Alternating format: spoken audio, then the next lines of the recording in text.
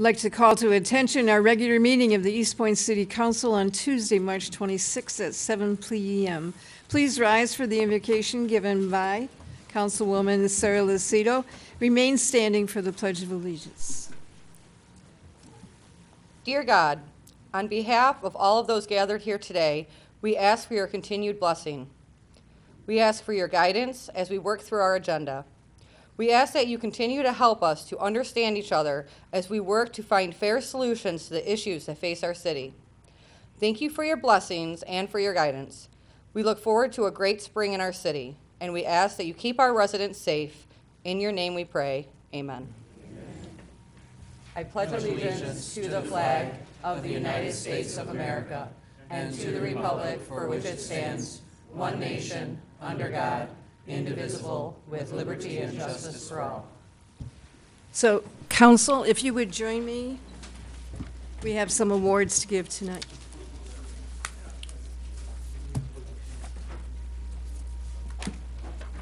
Do we need a microphone moved? No, the microphone's there.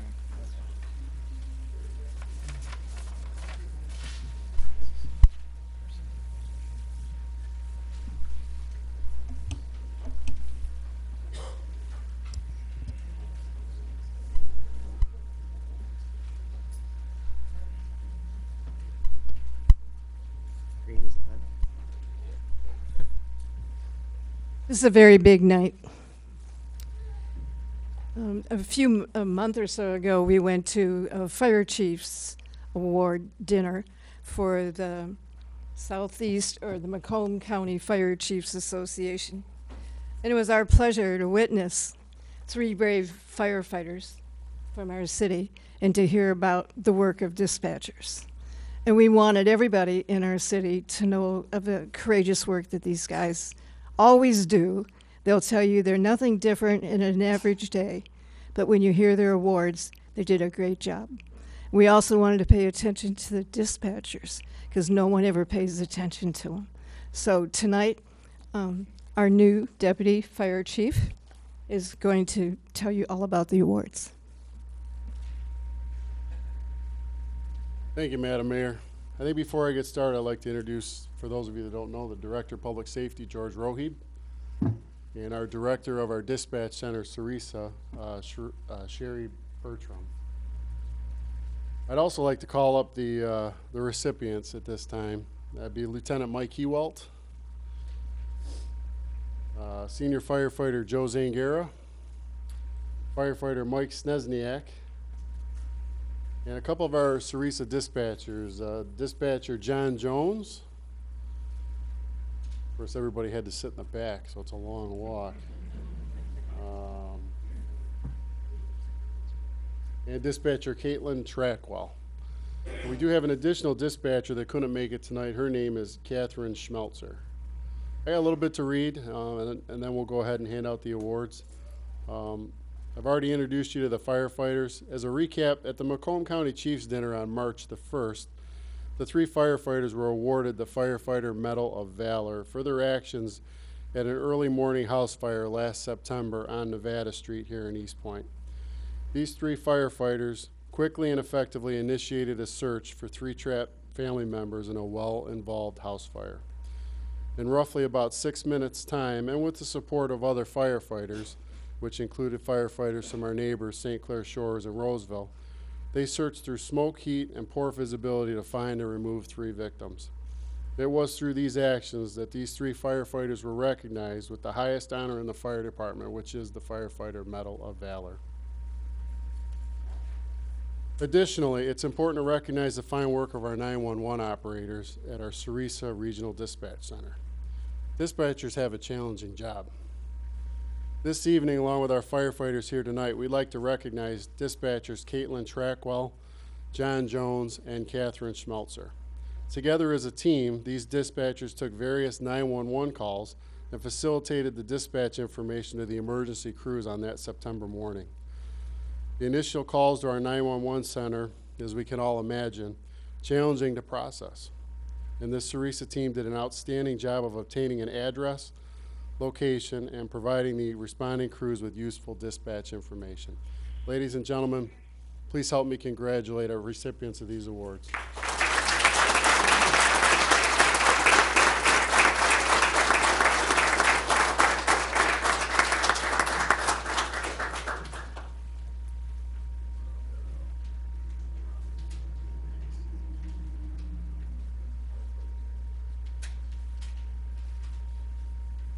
Caitlin?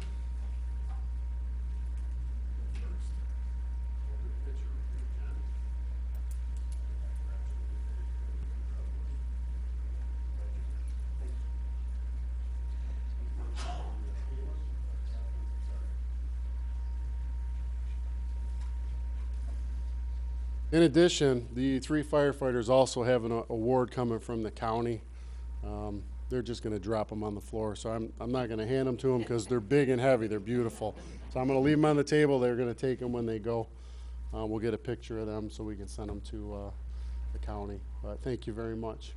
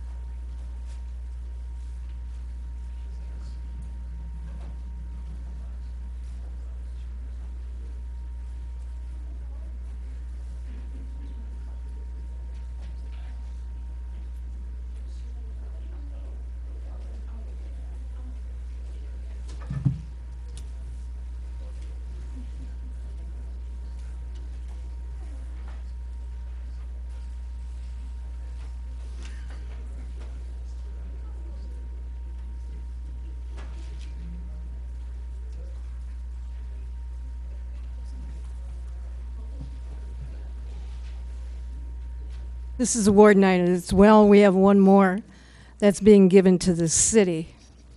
Um, this was another exciting time. Um, so Carrie Sutton is with the Michigan Concrete Association, and Steve Pangori with AEW. Do you want to come up as well? And then Dr. McLeod, do you also want to come up, please? Because this award also mentions the schools.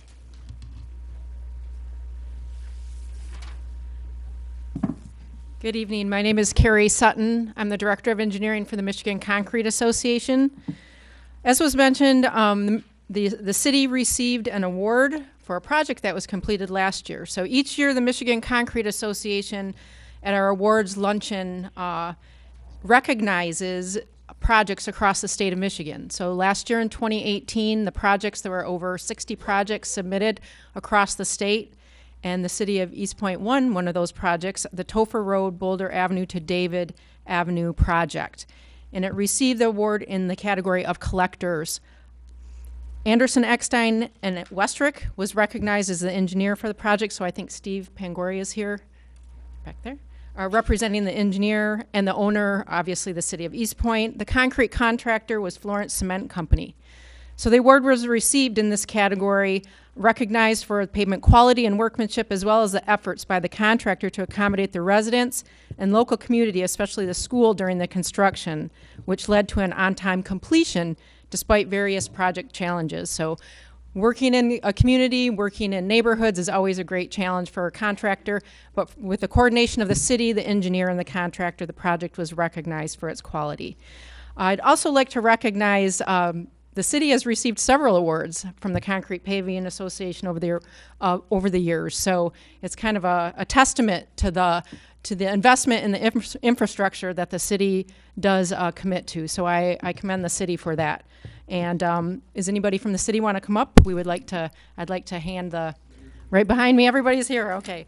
So, uh, to the mayor, the award of excellence to the city of Eastpointe for the Toepfer Road, uh, construction project from 2018. So congratulations. Thank you, Carrie.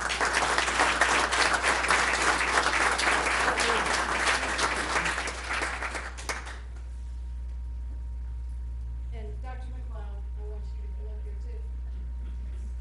This is really, really important. Um, Any construction project in the city of Eastpointe has to start in April.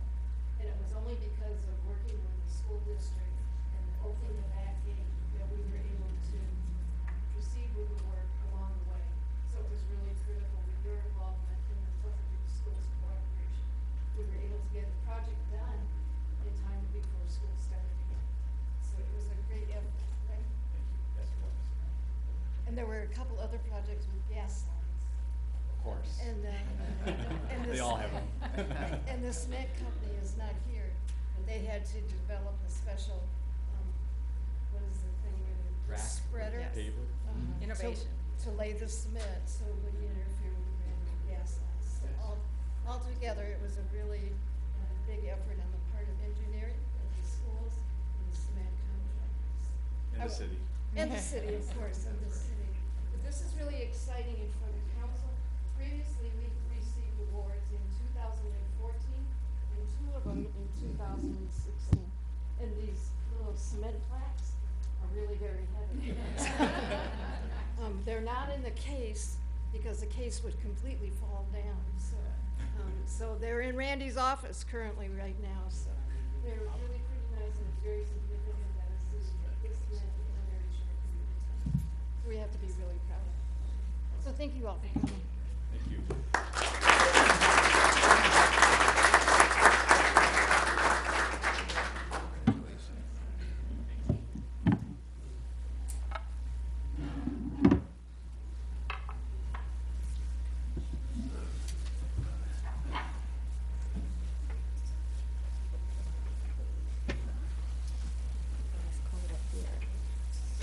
Turn this off for a minute.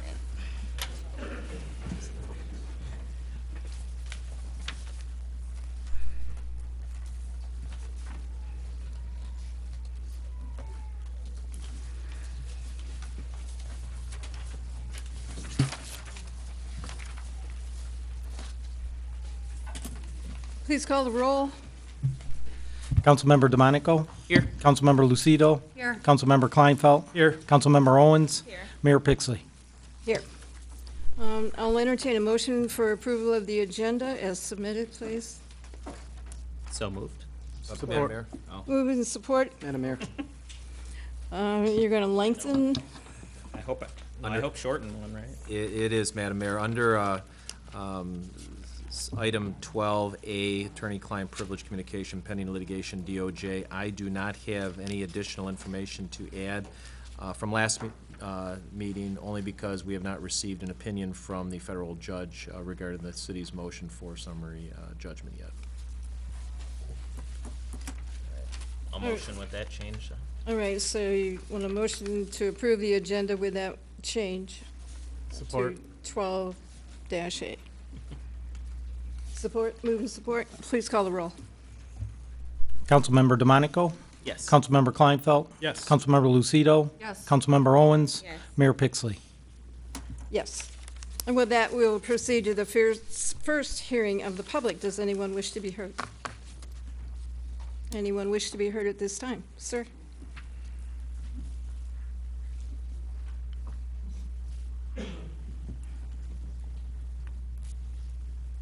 Good evening, Mayor Pixley, council members, members of the community. My name is Gary Sasek. I reside at 23796 Roxana Avenue here in Eastpointe.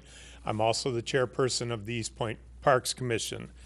And um, I'm here tonight to just bring you up to speed a little bit on what the commission has been doing. We've met with representatives of the East Detroit Tiger Cats. We've also met, met with representatives from the Eastpointe School District, um, discussing what the needs and wants for the Memorial Field building, concession stands and area is involving. And uh, what we've been able to determine through three visits of the property is that there's a lot of work that needs to be done. It's work that has been allowed to slide over the years, and we know we're not going to be able to correct this overnight, but we have an opportunity to be moving forward to make that building and the area that it's servicing much more pleasant to be at in regards to the use of the football teams, um, the Tiger Cats, and other community events that go on there. So at this time, um, we just would like you to know that a lot of effort has gone into the recommendations that are coming before you. And uh, we just know that it is something that needs to be done. Thank you very much. Thank you, sir, and thank you for all your work. Does anyone else wish to be heard at this time? Anyone else?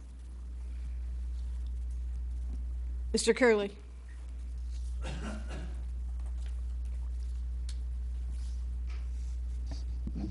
Thank you, Madam Mayor. Uh, Harvey Curley, City of Eastpointe. Um, I would just draw your attention to um, item M, the uh, Memorial Park concession stand locker room building recommendation. Um, I think we would all agree that when someone from our city or the visiting cities that are here to comes up to the concession stands, not only do they expect good food, which they get, but also uh, a place that they can look at and uh, uh, know that we care about uh, our folks. Uh, even more importantly, however, is the locker rooms. When we get the visiting teams that come in here, we not only want them to uh, be able to change into their uniforms, but in a comfortable style too. So um, I would just ask that uh, you would, uh, after your discussion, that you would give your support and approval to the renovation of the concession stand and the locker rooms. Thank you. Thank you, sir. Does anyone else wish to be heard? Ma'am?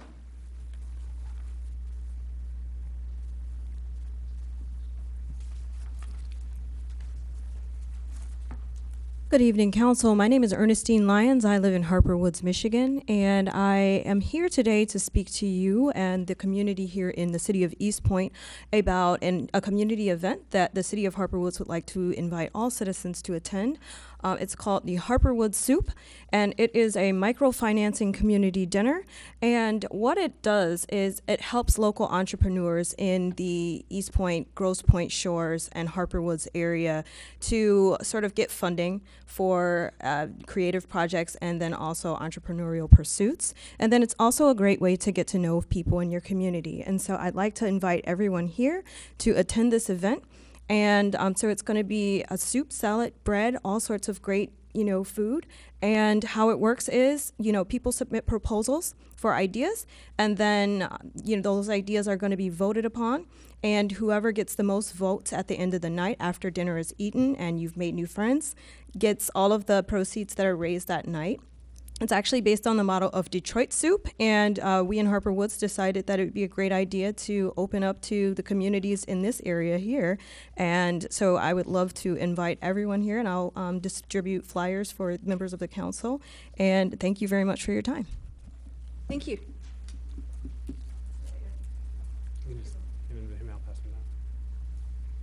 Does anyone else wish to be heard?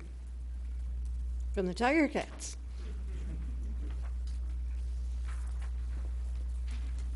Thank you, Mayor, Council. My name is Mike Roth. I'm a 57-year resident of Eastpointe. Um, I'm also associate of the East Detroit Tiger Cats. I used to play Tiger Cats. My son played Tiger Cats. Another gentleman here played Tiger Cats. Um, They have the school here with us. They're also teachers at the school. Um, We just want you to take your, think about the consideration of small steps and fixing that field up because it really needs it. And then also, once the field starts to get fixed up, there's more revenue that can be made there. Um, so we just, we appreciate you guys taking the time to think about it. And thank you for letting me speak. Thank you. Anyone else wish to be heard?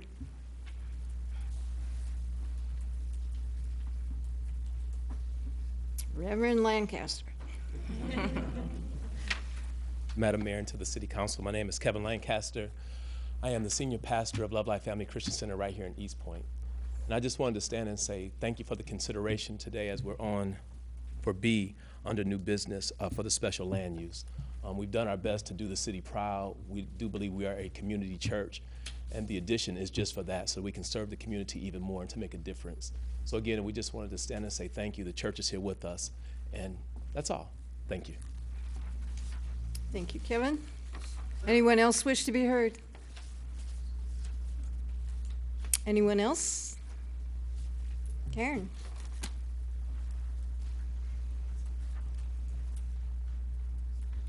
Good evening, Karen Morajan, Eastpointe resident. Um, so, a couple of topics uh, to cover and tie into one another. Um, first and foremost, um, Easter's coming up, and even though we have the humane pet ordinance, um, there are still unscrupulous commercial breeders out there and backyard breeders.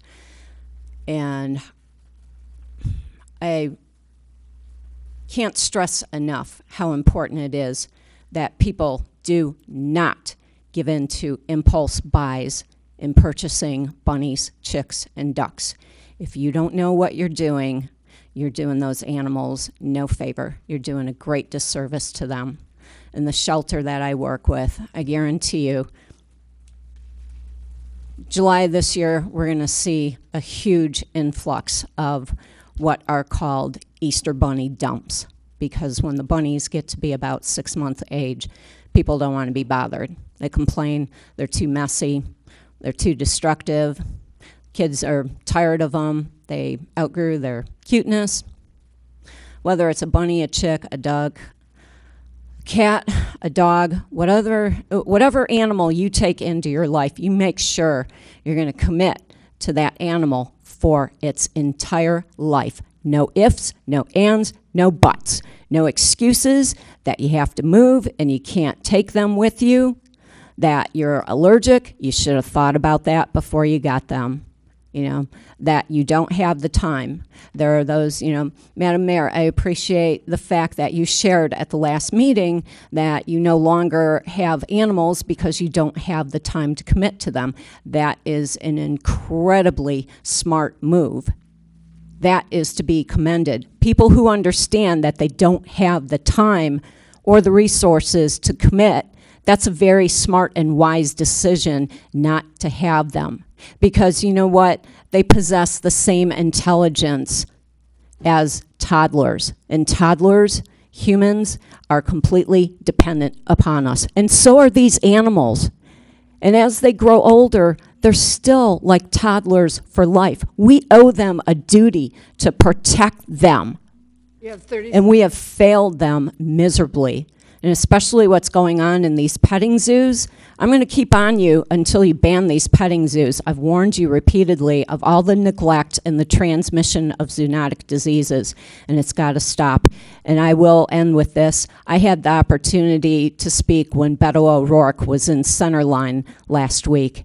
And that man listened to every word I had to say in front of well over 200 people. Your time is up. In my time in addressing what's going on with the animal cruelty and how we stop that. Thank you. Anyone else wish to be heard? Mr. Truesdale?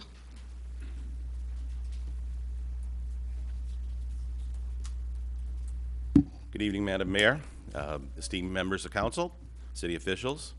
Alex Truesdale, City of Eastpointe. I'm representing tonight uh, the Knights of Leo the 13th, Council 3042 from Eastpointe. And uh, thank you very much for uh, getting the, uh, on the agenda for tonight, the reading of the, first reading of the uh, changing, hopefully changing of the ordinance, uh, the city ordinance to allow charitable organizations such as the Knights of Columbus to solicit on street corners. Um, As you know, the Knights of Columbus have been a partner with the city of Eastpointe for many years. Uh, We've helped out in whenever we can, especially with the Memorial Day Parade. And this is a national mandate from Supreme to help uh, mentally impaired adults and children. And we do this every Palm Sunday weekend. So I see this as the reading, the first reading. I hope that the second reading will be on the first Tuesday of the month. Um, So if it does pass and we are allowed to solicit on street corners as of uh, House, House Bill 4888 allows us to do so, that um, we'll have it in time uh, to marshal our forces to hand out Tootsie Rolls uh, for donations on the street corners of Eastpointe. Thank you very much. Thank you, sir.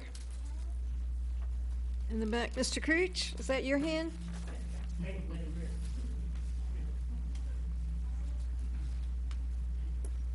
Madam Mayor, Council, and residents, take it's great, great to see this many people from our city. Uh, you know, no matter what it comes down to, we all have to work together. I know I sometimes fight, and I sometimes gravel, and there's a lot of things that I want to see the city do. The only way we can do them is we all have to do them one person, this council, the mayor, they can't, they can't do it.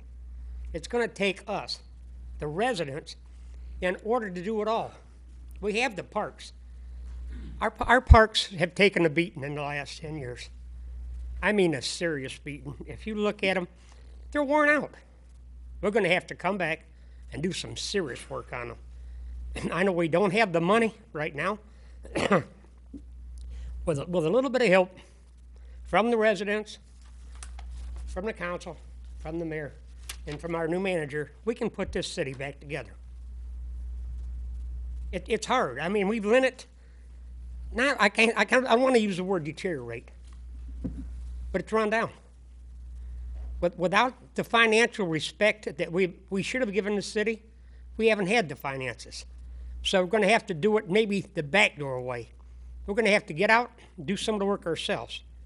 I'm looking forward to working in the parks. I've got the shuffleboards coming back up. I got other things coming back up. I'd like to see this, the residents and come back in the city and enjoy it again. When I was a youngster, I spent more time at the parks than I did at home.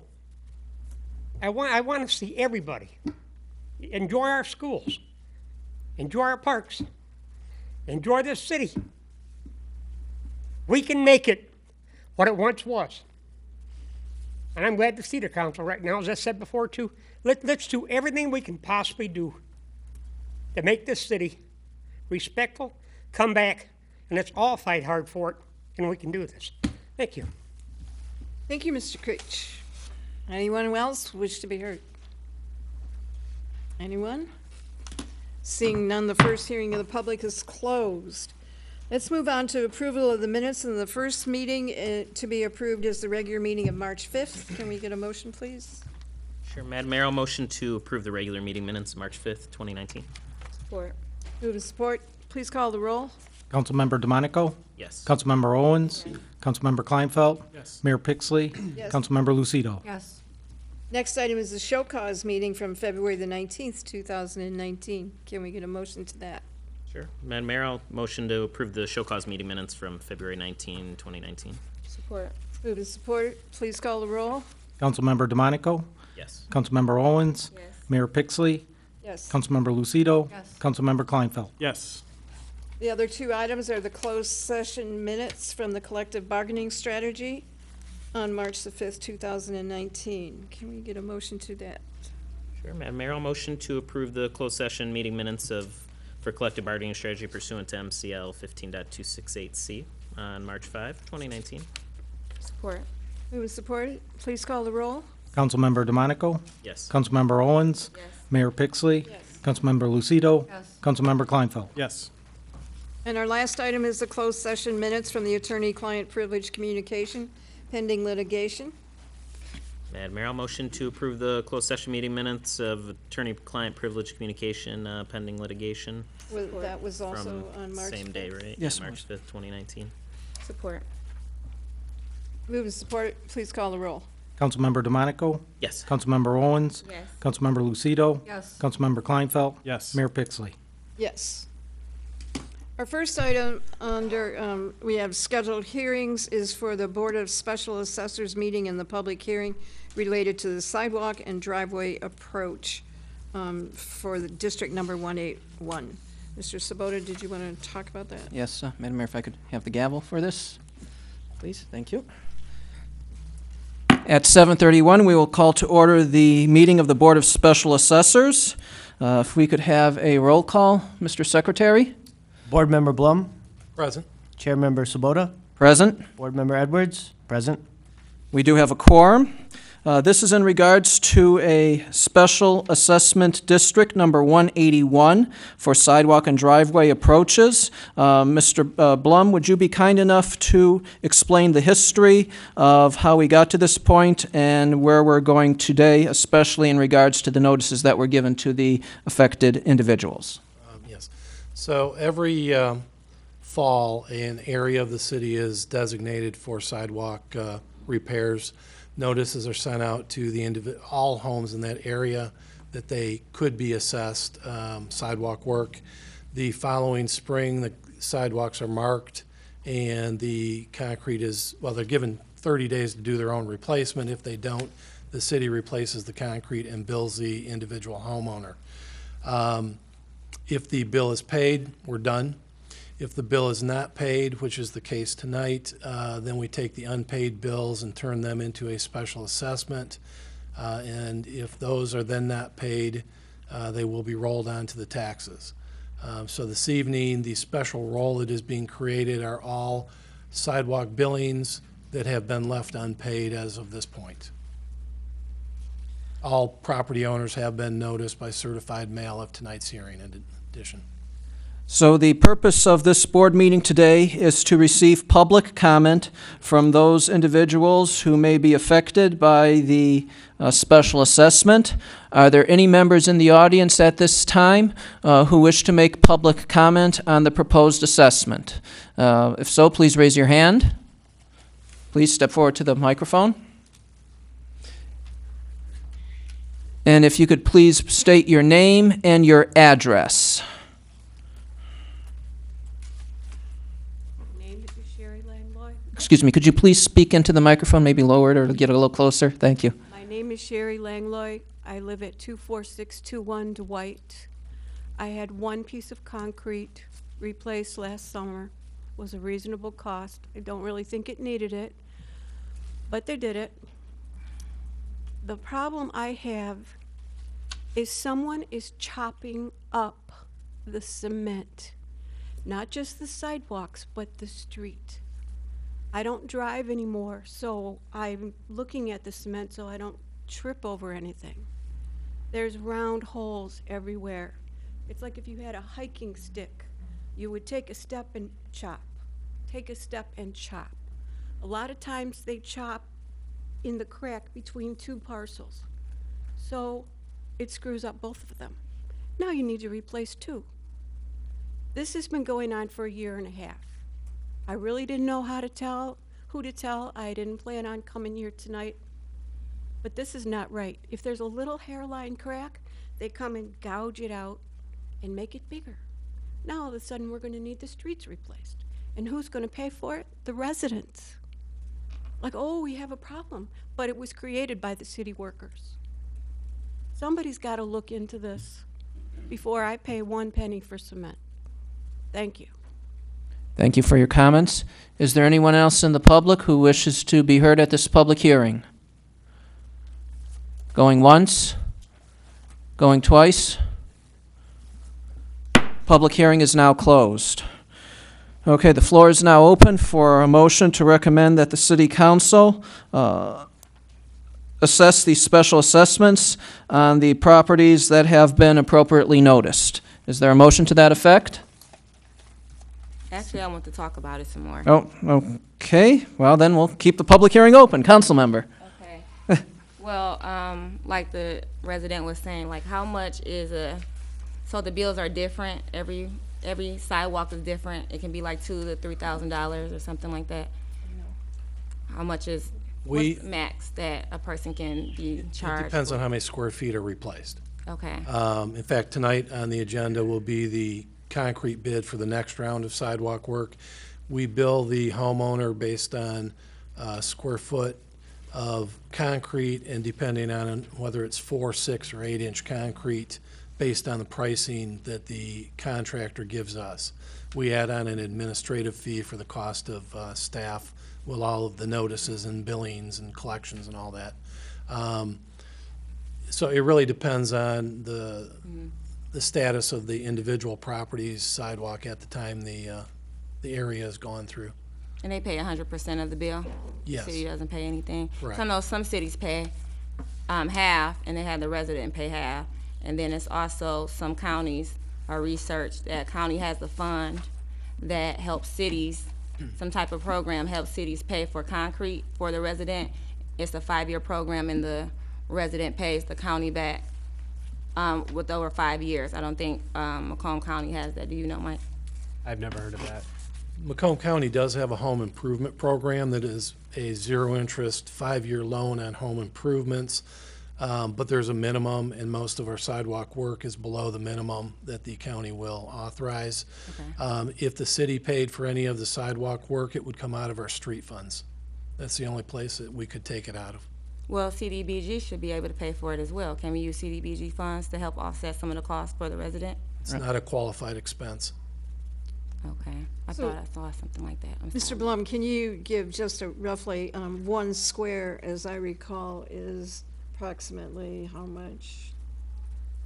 I cannot answer that off the top of my head. But I, I don't. do know that they measure, um, we went through this a few years back, that they look for holes in the cement, um, that are a, a quarter size or more, or where you can see the gravel from the cement protruding. Right.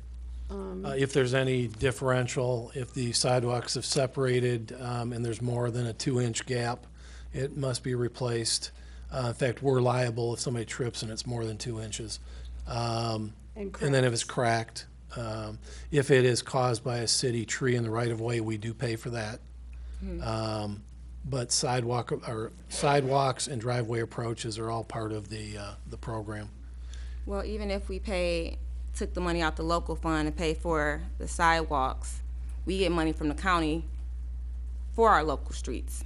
So can we offset, so it's like, we, you know, the money that the county gives us for the streets, we can use that, it's still using the money for some type of percentage for the resident paying for their sidewalk, right? Because we get money from the county for Well, our we get local money- it's from the state of Michigan for Yeah. street funds, yes. Right. But it would cut into any funds that we, I mean, you, you've heard the numbers of how much street repair we need.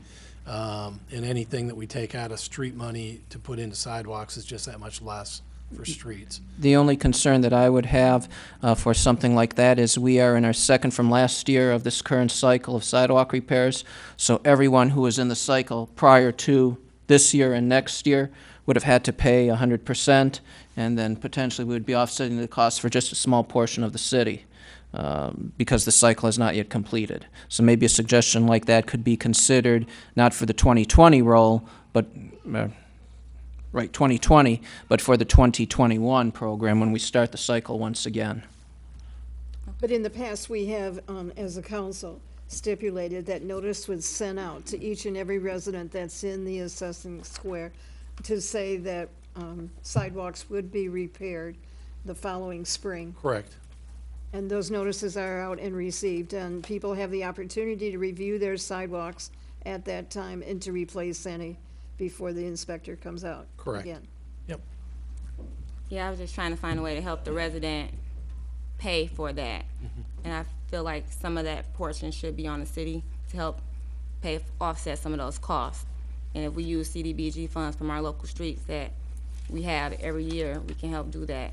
Maybe we can find some way to pay a percentage, even if we start off with ten percent or something, depending on, Well, that would be a council decision. okay. Well, council, that might be something that we might want to look into. I, I'm wondering whether it would qualify with a CDBG. For funds. CDBG, no. Uh, Act 51 non-motorized, yes. Okay. But Act fifty-one funds are less and less every year, Actually, they're going up now. barely. Uh, However, when you consider the costs of concrete and blacktop, it covers less, so that is a true statement then. Uh, Any other public comment before we officially close the public hearing? Going once, going twice, now we are closed. Now, uh, for the uh, board members, is there a motion to recommend that the city council uh, spread the sidewalk and driveway special assessment roll number 181 in the amount of $148,991.48 as recommended? It's under new business. Right, but we have to refer this to city council. I'll make a motion. Uh, That is made by member Edwards. Is there a second? Second that. Mr. Blum, discussion? All in favor? Aye. Opposed? Hearing none, the motion is approved unanimously. And being there are no other business on the agenda for this Board of Special Assessors meeting, is there a motion to um, recess and refer to City Council? I'll make a motion. Mr. Edwards, is there a second? Second that. Uh, That would be Mr. Blum. All in favor? Aye. Opposed? Meeting is adjourned at 7:43. Thank you, Madam Mayor. Meeting is the council's again.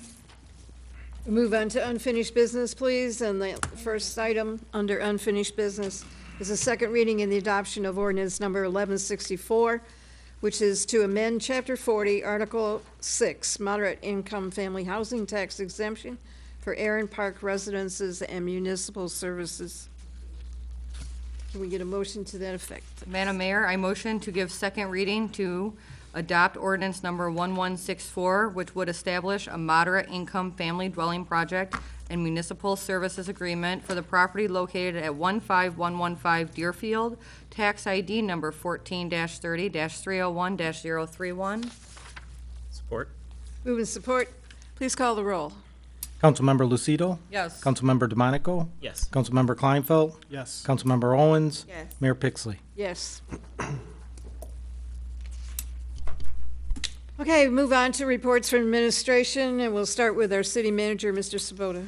Madam Mayor, this is a good news Tuesday, uh, not only from the way that we started the meeting, but from what I plan on reporting to your honorable body this evening. Uh, First, I would like to announce that after, I don't know how many years, the city will have a new DPW director beginning on April 1st. Mr. Joes Abraham is the retired deputy DPW director from the city of Detroit. He brings to the city a wealth of experience and knowledge, especially in obtaining grants for road repairs. So we look forward to bringing him on board, and he will be starting on Monday, April the 1st. Uh, Another bit of good news. Uh, The budget for the uh, fiscal year uh, 1920, uh, I anticipate having that 250-page document uh, available online Friday, which I think is three or four days earlier than we were last year. Uh, I don't want to preview too much, other than to say at this time, the general fund budget is being proposed, is structurally balanced for fiscal year 2019 and fiscal, uh, fiscal year 2019-20, and I anticipate it being structurally balanced for fiscal year 20 and 21. So this is good news in terms of the city's finances. More good news. Uh, Remember, a couple months ago, uh, I had uh, recommended uh, that City Council authorize going out for bid for uh, road repairs. And the area, it was called Area 1 and Area 2, which was essentially south of Toepfer and west of Kelly. And we decided to increase the area because if we were able to get the estimated cost of construction to over a million dollars, we thought that we would get a very good bid rate. Well, we did not get a very good bid rate. We received an excellent bid rate.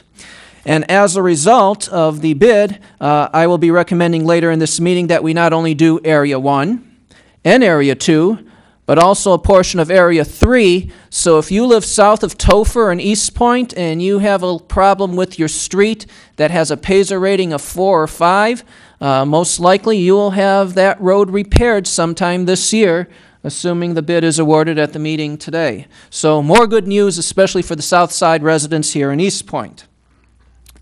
Uh, let's stay on this good news. And I'm building everything up here, so stay with me on this. We received our water rates from the Great Lakes Water Authority starting July the 1st. And if you recall, a couple meetings ago, I had indicated that Detroit, or not Detroit, GWLA was planning on increasing our fixed monthly charge from $76,400 a month to $79,800 a month, and raising our uh, commodity charge, which is our uh, rate per cubic foot, uh, from uh, meter cubic foot, from $5.38 to $5.87. Now you might be wondering, what in the world is a water rate increase good news for? Well, Great Lakes Water Authority has finalized those numbers, And instead of a monthly charge of being $79,800, it is only going to be $79,400. So, not as bad as we expected. And also that commodity charge at 587 is only going to be 584. So, good news. Our water rate increase isn't as high as we thought it would be. So, that's good news. Uh, in regards to the uh, cell tower uh, contract uh, lease extension that council did not want to consider at the last meeting because you didn't want to extend for another 30 years at an additional rate of $25,000. Well, the company couldn't understand exactly why council would not consider that, so they have offered to lower the extension from 30 years to 25 years, which essentially is $1,000 an additional year. Now, I'll let council contemplate that, but I don't think that that decrease in rental term is going to be accepted, but they're starting to move in the right direction, so that's good news for the city. Uh, we have a beautification commission that does a great job in uh, promoting uh, the city, keeping uh, properties uh, uh, beautiful. And that commission will be meeting on Thursday at 7 o'clock. So if you're interested, please come on down. Civil Service Commission, they will be postponing their meeting one week. It was scheduled to be Monday, April 1st. It will now be Monday, April the 8th. And finally, uh, we are almost at the point where all of our board, required boards and commissions uh, will be uh, seated with quorums. And later this evening, our Construction Code Board of Appeals, uh, we have some uh, recommendations for appointments, so that board will now uh, be official in terms of having a quorum. So this is a good news Tuesday, and hoping things continue throughout the rest of the meeting. And if council has any questions, I'd be more than happy to answer them. Anyone? I'm good. I like terrific Tuesday. Thank you. I was looking for that alliteration. I couldn't figure it out, so thank you, council member. Appreciate that. This is a terrific Tuesday. Let's move on to our finance director, Mr. Blum. Uh, Yes, Madam Mayor and Council. Um, I have nothing specific to report. Uh, Focus has been on budget and budget documents to get ready to get you a budget. So uh, if you have any questions, go ahead and shoot, but uh, I have nothing specific. Do you have any expectations of when in April we're going to be reviewing the budget? Uh, Actually, Madam Mayor, uh, we discussed that in the office before the meeting. Uh, The budget will be transmitted probably via an e- uh, link to the website on Friday. Uh, It will be officially presented to City Council per ordinance at the first meeting in April, which is Tuesday.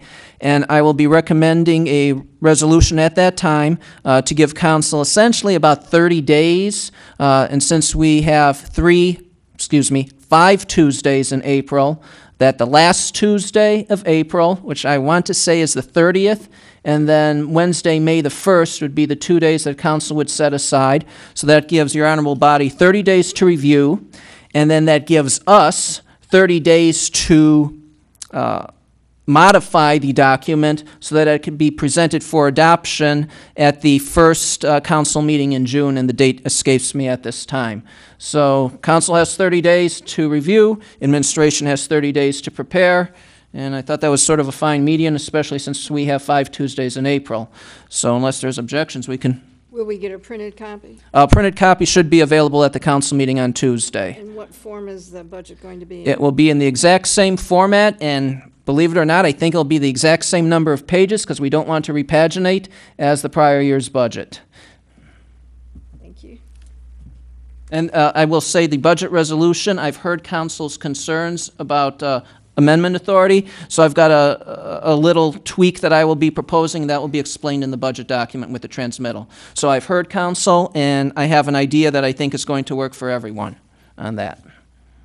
What's the status of the rate study, water rate study? Now, since we have a proposed budget, we will be able to give that information to our engineering firm. They will be able to drop those numbers into the formula. And I don't want to speak for Mr. Pangori. I know he was here, but I'm assuming that uh, once we give him that information, his firm will be able to turn that around reasonably quickly. And remember, we're getting two numbers. One is for the current fiscal year to see if the rate that we established for this year is adequate. And number two would be the rate for the uh, uh, ensuing fiscal year.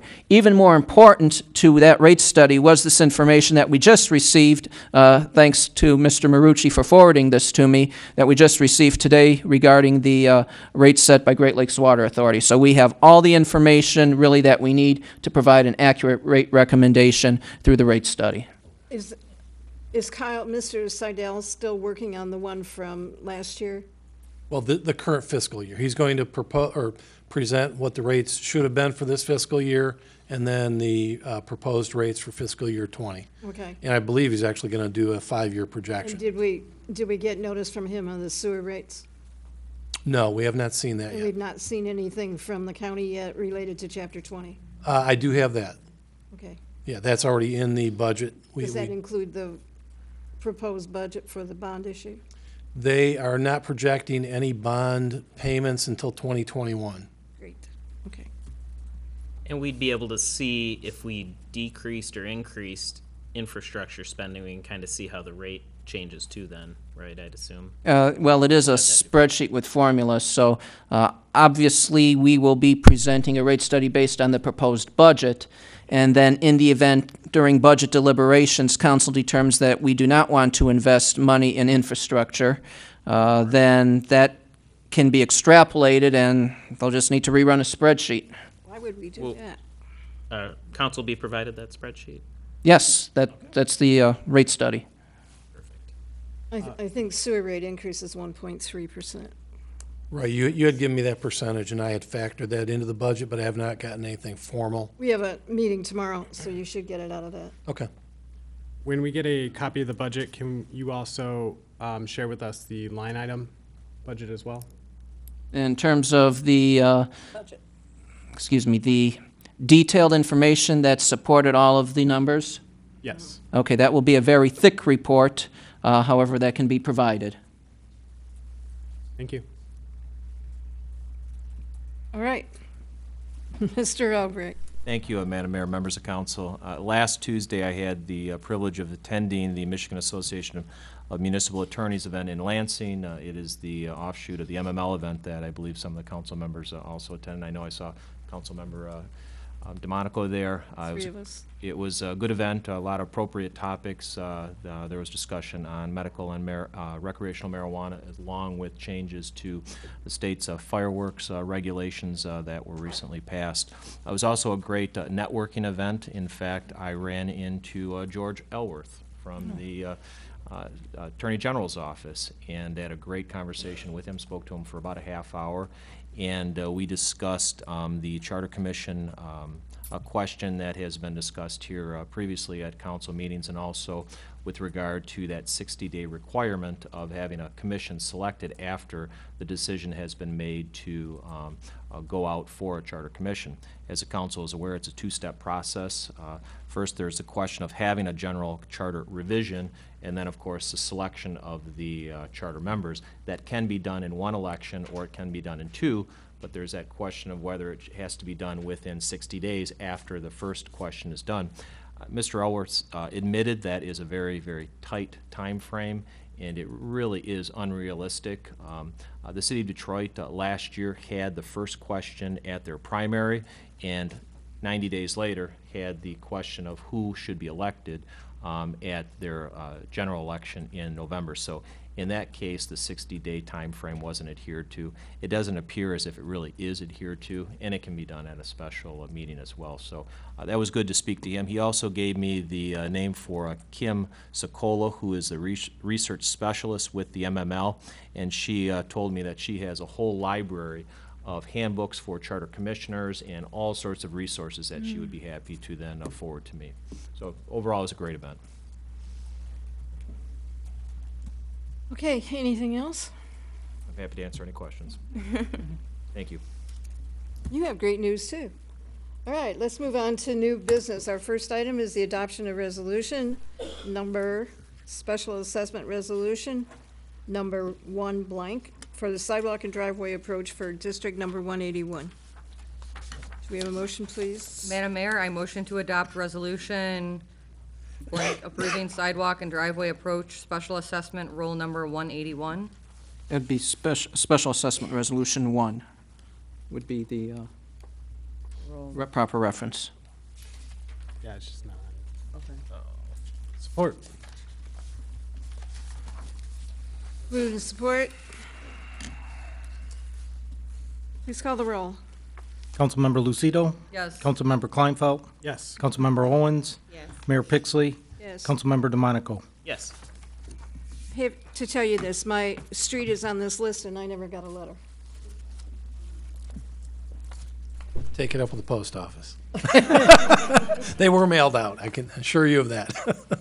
I can't wait to see that person go around with the thing dinging holes in the cracks in the sidewalk. All right, uh, the second item is a special land use approval for the expansion of Love Life Church. Madam Mayor, I motion to accept the Planning Commission's recommendation to approve the special land use for the expansion of Love Life Church located at 17363 Toepfer, contingent with compliance approval of site plan as presented by the city planner in site plan, and the parking lot is to be resurfaced. Support. Moved and support. Were you going to say something? I think I, he was looking as to who the second was. Did you get it? Yeah. Okay. And you all sit out there with bated breath. I see you all. It's gone on. You've been waiting now for what, two years for this, right? First time I saw these plans was two years ago. All right, please call the roll. Councilmember Lucido? Yes. Councilmember Klinefelt? Yes. Mayor Pixley? Yes. Councilmember DeMonaco? Yes. Councilmember Owens? Yes. Yay.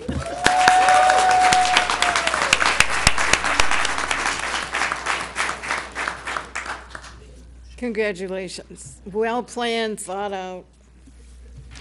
Very good. All right. Commission appointments, the first one is to the Construction Board of Appeals. We have a motion, please? Um, Co- Council, I wanted to tell you that I did have a question about this, and you might have the same question.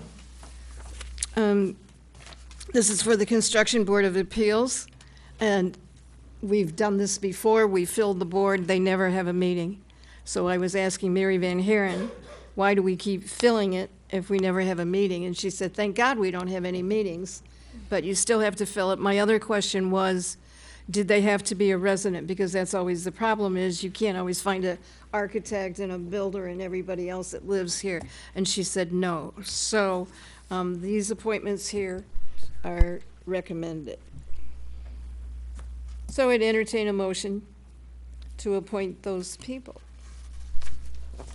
Madam Mayor, I'll motion to reappoint to the Construction Board of Appeals Jim Colville with a term expiring Jan 1, 2021, and to appoint to the Construction Board of Appeals Mark Turikian with a term expiring January 1, 2022, uh, Thomas E. Miller, term expiring January 1, 2023, and Rick Brancato with a term expiring January 1, 2024. Are any of those people here? Support. Move to support. Any of them here? Support. Right, please call the roll. Councilmember DeMonaco? Yes. Councilmember Lucido? Yes. Councilmember Klinefelt? Yes. Councilmember Owens? Yes. Mayor Pixley? Yes.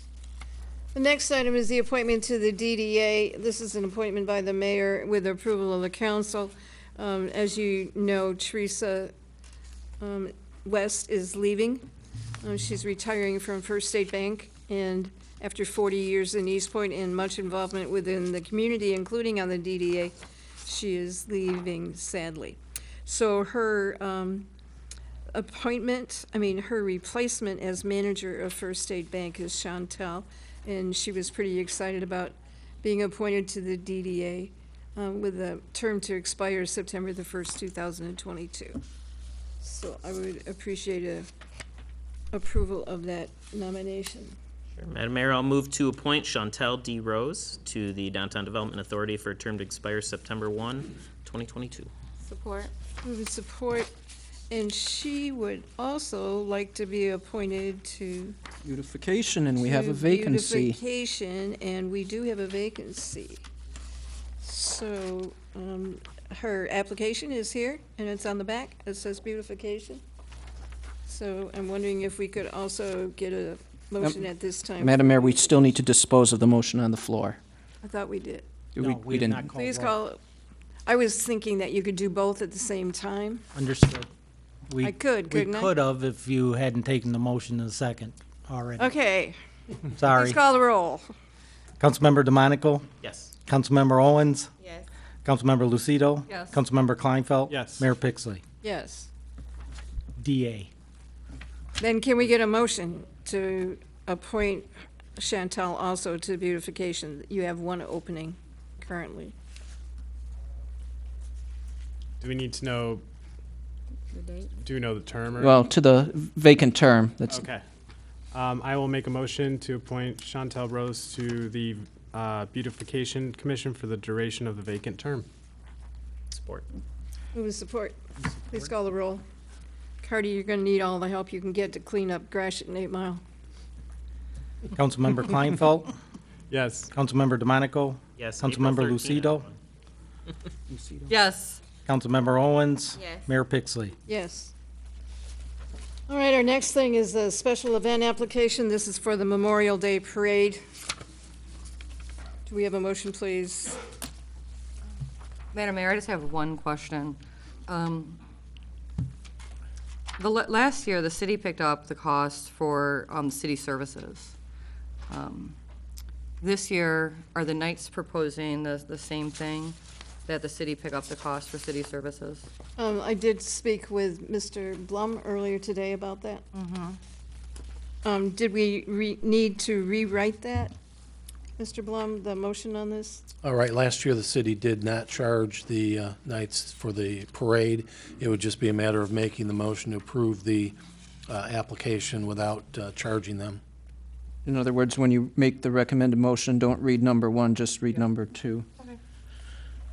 Madam Mayor, I motion to approve special event application for the Knights of Columbus Memorial Day Parade for Monday, May 27th, 2019, from 10 a.m. to 1 p.m. with the following condition, that all organization participation, participating must sign hold harmless agreements with the city. Um, And I'm sorry, I have one other thing that we need to add to this, and that we have the use of the pavilion in um, Kennedy Park for the picnic after the parade.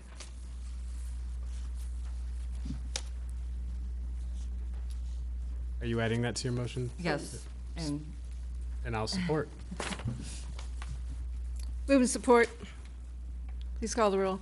Councilmember Lucido? Yes. Councilmember Klinefelt? Yes. Councilmember Owens? Yes. Mayor Pixley? Yes. Councilmember DeMonaco? Yes. All right, our next item is the bid award for the meth lab cleanup and demolition proposal at 22175 Hayes. I had a question. How much, if I may, Madam Mayor, um, do we have an average of how much demolitions typically cost when they're normal? Yeah, they, they run, if, depending on the asbestos removal portion, anywhere from ten to fifteen thousand, uh, normally.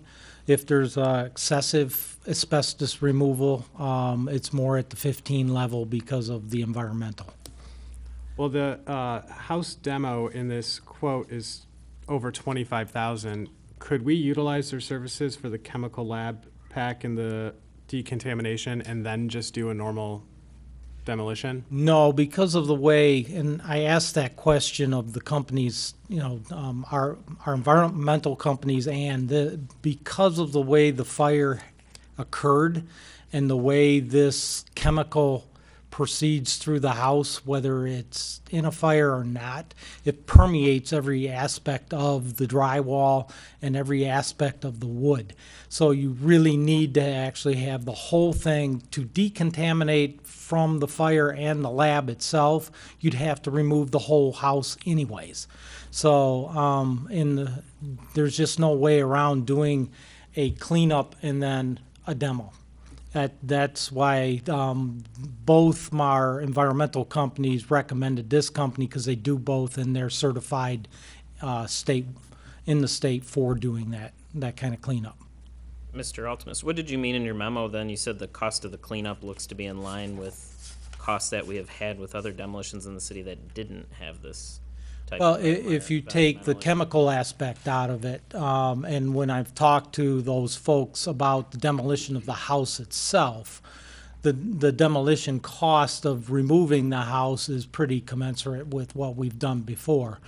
The problem is, is the chemical aspect of it. As soon as you throw the meth lab portion into that, that's where it starts to really go up. That's what Mr. Klinefelt's saying. It says twenty-five thousand. They break it down uh, in, in their cost analysis. It's twenty-five for the demo, seven, a little over seven for the, the rest. I- i- If I could, council member, uh, normally you would see a demolition cost that's broken down with demolition and asbestos. And in this case, you don't have that delineation because the asbestos that's in the house is assumed. Uh, We have this third part here about the chemicals as well that's already in the structure. So you've really got three components per se in that 25. Then you've got the chemical lab pack, which is an additional service, followed by decontamination, which is an additional service. So this is really a, uh, I guess you can call it a five-step demo because of the uh, uh, nature of the uh, chemicals that were inside the house and the unknown nature of the asbestos, which the uh, demolition company has to assume is present because it cannot be tested or removed. So this will have to go to a special uh, disposal facility dump, uh, unlike a normal demolition.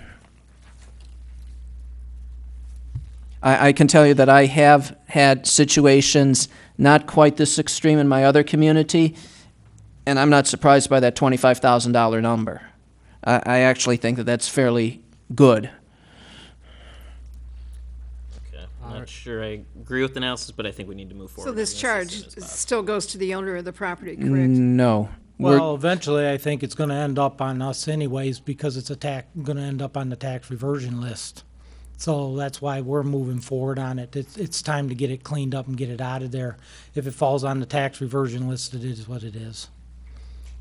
The, pre- the property presently is up for tax foreclosure, so we're looking at owning a $32,000 lot in a couple of months. Right now, I think it's more of a safety aspect. We gotta get it out of there. Any other questions? No. Uh, Madam Mayor, I will make a motion to waive the city's bidding requirements and um, approve uh, the demolition of 22175 Hayes uh, with ERG Environmental Services in an amount not to exceed $32,878.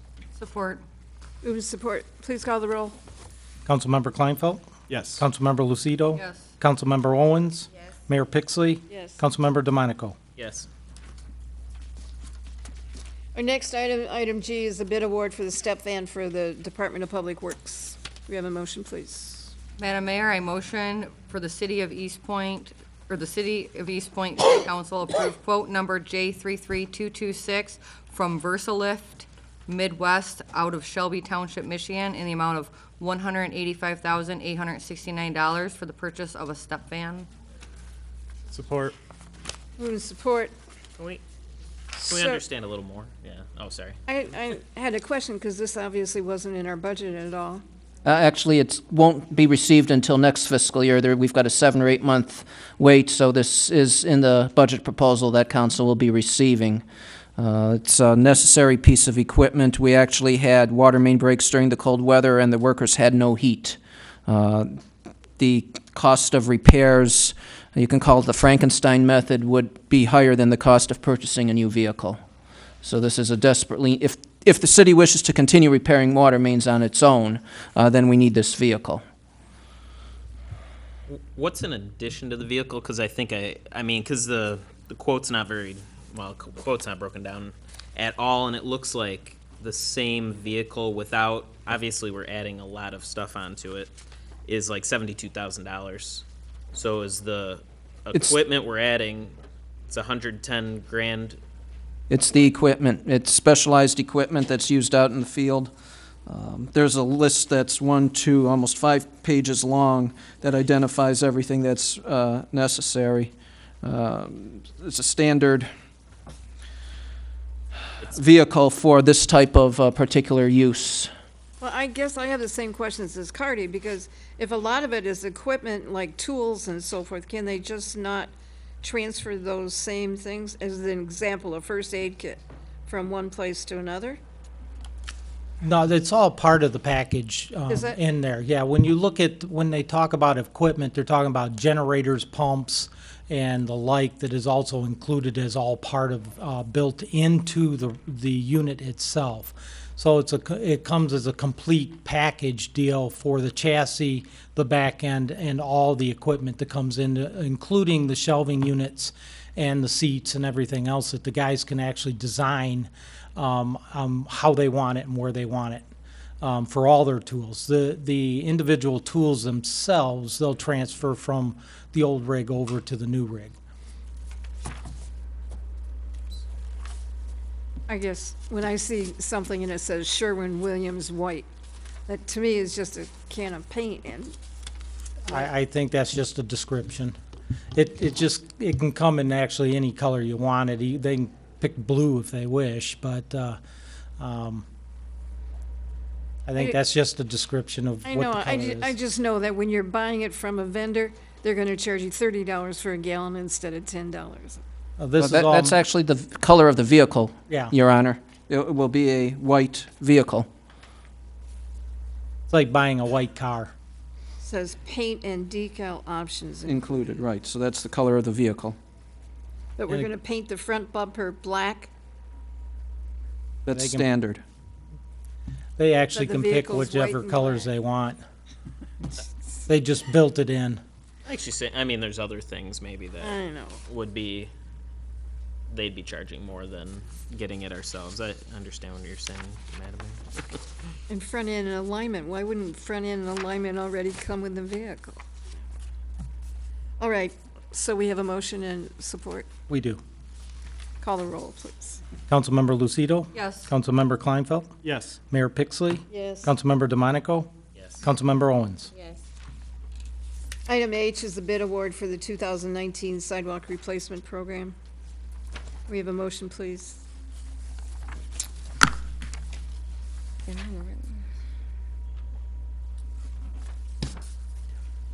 Um, I'll- I'm willing to make a motion, but I did want to just ask one thing. By approving the unit price rather than awarding the whole thing, uh, Mr. Spota, I understood the desire to, that they can continue working. However, I'm just concerned that if we don't award it as a project, then they're not required to come out and do the work. Because I think a part of the problem we've had with sidewalk replacement companies is keeping on top of them um, to perform, uh, complete the work. Right, that uh, concern is being addressed in the contract that the company will be required to sign. Uh, So uh, what council is approving is the price that the company will be charging us. Administration is responsible for ensuring that the company performs the work when it's supposed to be performed, so we don't have a repeat of the issues that we had in a previous year. So we're fully aware of that uh, concern, and it will be addressed in the contract with uh, performance goals and objectives. Okay, well then I will make a motion um, to approve the unit price bids for the 2019 sidewalk replacement program to uh, Luigi uh, Ferdinandi. Ferdinandi and Son Cement Company of Roseville, Michigan. Support. Move in support, please call the roll. Councilmember Klinefelt? Yes. Councilmember Lucido? Yes. Councilmember DeMonaco? Yes. Councilmember Owens? Yes. Mayor Pixley? Yes. The next item is the bid award for the 2019 concrete pavement repair program. We have a motion, please. Madam Mayor, I'll make a motion to approve the unit price bids for the 2019 concrete uh, pavement repair program to Italia Construction of Washington, Michigan, in an amount not to exceed $1,364,000. Support. Move in support, exactly where, where and what is this? Why is this different? Where are they gonna repair? Okay, the, the- this is, these are the roads. Uh, So areas one, two, and three are essentially the southern end of Eastpointe from Toepfer to the southern borders, uh, from the western city limits all the way to the eastern city limits. Uh, area three also tends to go a little bit north of Toepfer on the east side of Kelly. However, I'm not sure exactly how bad those roads are, so whether the whole area three will be done or just a portion, most likely south of Toepfer, eh, but they'll start on the west end and move their way east from area one to area two and to area three. So, so many of our streets lose their PASER rating because there's a pipe or something broken underneath it. What if they go in and take that cement off and discover there's a service line or something that's broke? uh, then that will be addressed with the uh, city at that time. We do have a contingency in the contract, and if it's something that the contractor can repair, they will repair. If it's something that the contractor cannot repair, they will simply advise the city, most likely move on for the city to address the situation, then come back if necessary to complete those repairs. Uh, however, before the contractor goes out, the roads will be inspected and marked, so at that time, we anticipate being able to determine if there's any underlying issues that are associated with the damage. All right, motion, Has been made and seconded. please call the roll. Councilmember Klinefelt? Yes. Councilmember Lucido? Yes. Councilmember Owens? Mayor Pixley? Yes. Councilmember DeMonaco? Yes. Item J is the approval of the contract for information technology services. And Madam Mayor, I was asked before the meeting to explain to council what the criteria was that was used by the evaluation staff to uh, determine the most qualified company. We had five categories with various uh, uh, points. The first one, worth 10 points, was information on the background of the firm. To, uh, the firm was asked to provide a brief introduction, address the size of the firm, the number of years in business, the availability of the firm to perform the tasks and services requested, and the history of the firm. Uh, they were required to include key contact information uh, identified and referred to the company background and negative history requirements that we had identified earlier in the document. The second criteria were 30 points was key personnel and qualifications. Uh, the bidder was to provide a brief, a respondent was to provide a brief resume for each of the key persons proposed to work on this project. The credentials of corporate executives or firm principals are not necessary or desired unless those individuals will play an active role in the proposed project. Any key subconsultants proposed should be identified and information on their respective role in the project also needed to be included. Criteria number three, worth 10 points, So, uh, s- number two, so was, uh, the 30. folks that, would be working. okay.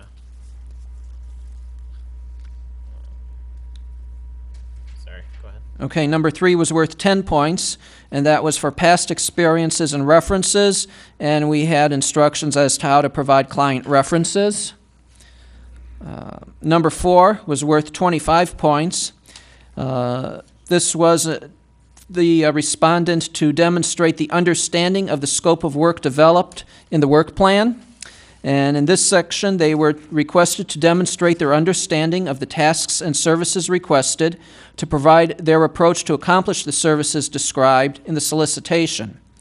In addition, they needed to demonstrate how assigned maintenance personnel will, will respond within the one-hour time limit for responding to unscheduled or emergency work, to include a discussion how assigned staff will respond to after-hours and emergency work, where the firm's equipment and vehicle storage yard is located, and to demonstrate the ability of assigned staff to adequately respond to emergency work. So that was worth 25 points.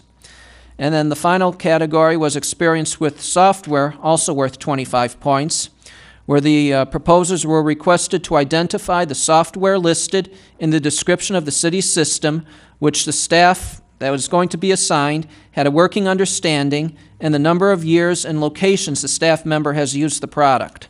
So the evaluation committee worked independently. We read about eight inches thick of various proposals, and we scored uh, our uh, the respondents individually based on these criteria and these conditions. Then the committee convened. Uh, we uh, discussed the matter, and our tallies were calculated. And at that point, the most qualified firm was identified. And as that being the most qualified firm during an IFQ, RFQ, then we enter into contract negotiations. If we are successful in contract negotiations, then that recommendation comes before City Council. If we were unsuccessful in, uh, result, uh, in to agreeing to a contract, uh, then we would move on to the next qualified firm. So we were not looking for dollar value uh, in this bid, we were looking for qualifications. This is a uh, uh, method that is used to solicit uh, professional consultants uh, in various industries, such as planning, engineering, uh, IT, and anything else where we're looking for someone for the type of services and their experience, not necessarily getting the uh, cheapest, because the cheapest may not always be the most qualified or the best. So I hope that answered the council's questions that were posed earlier.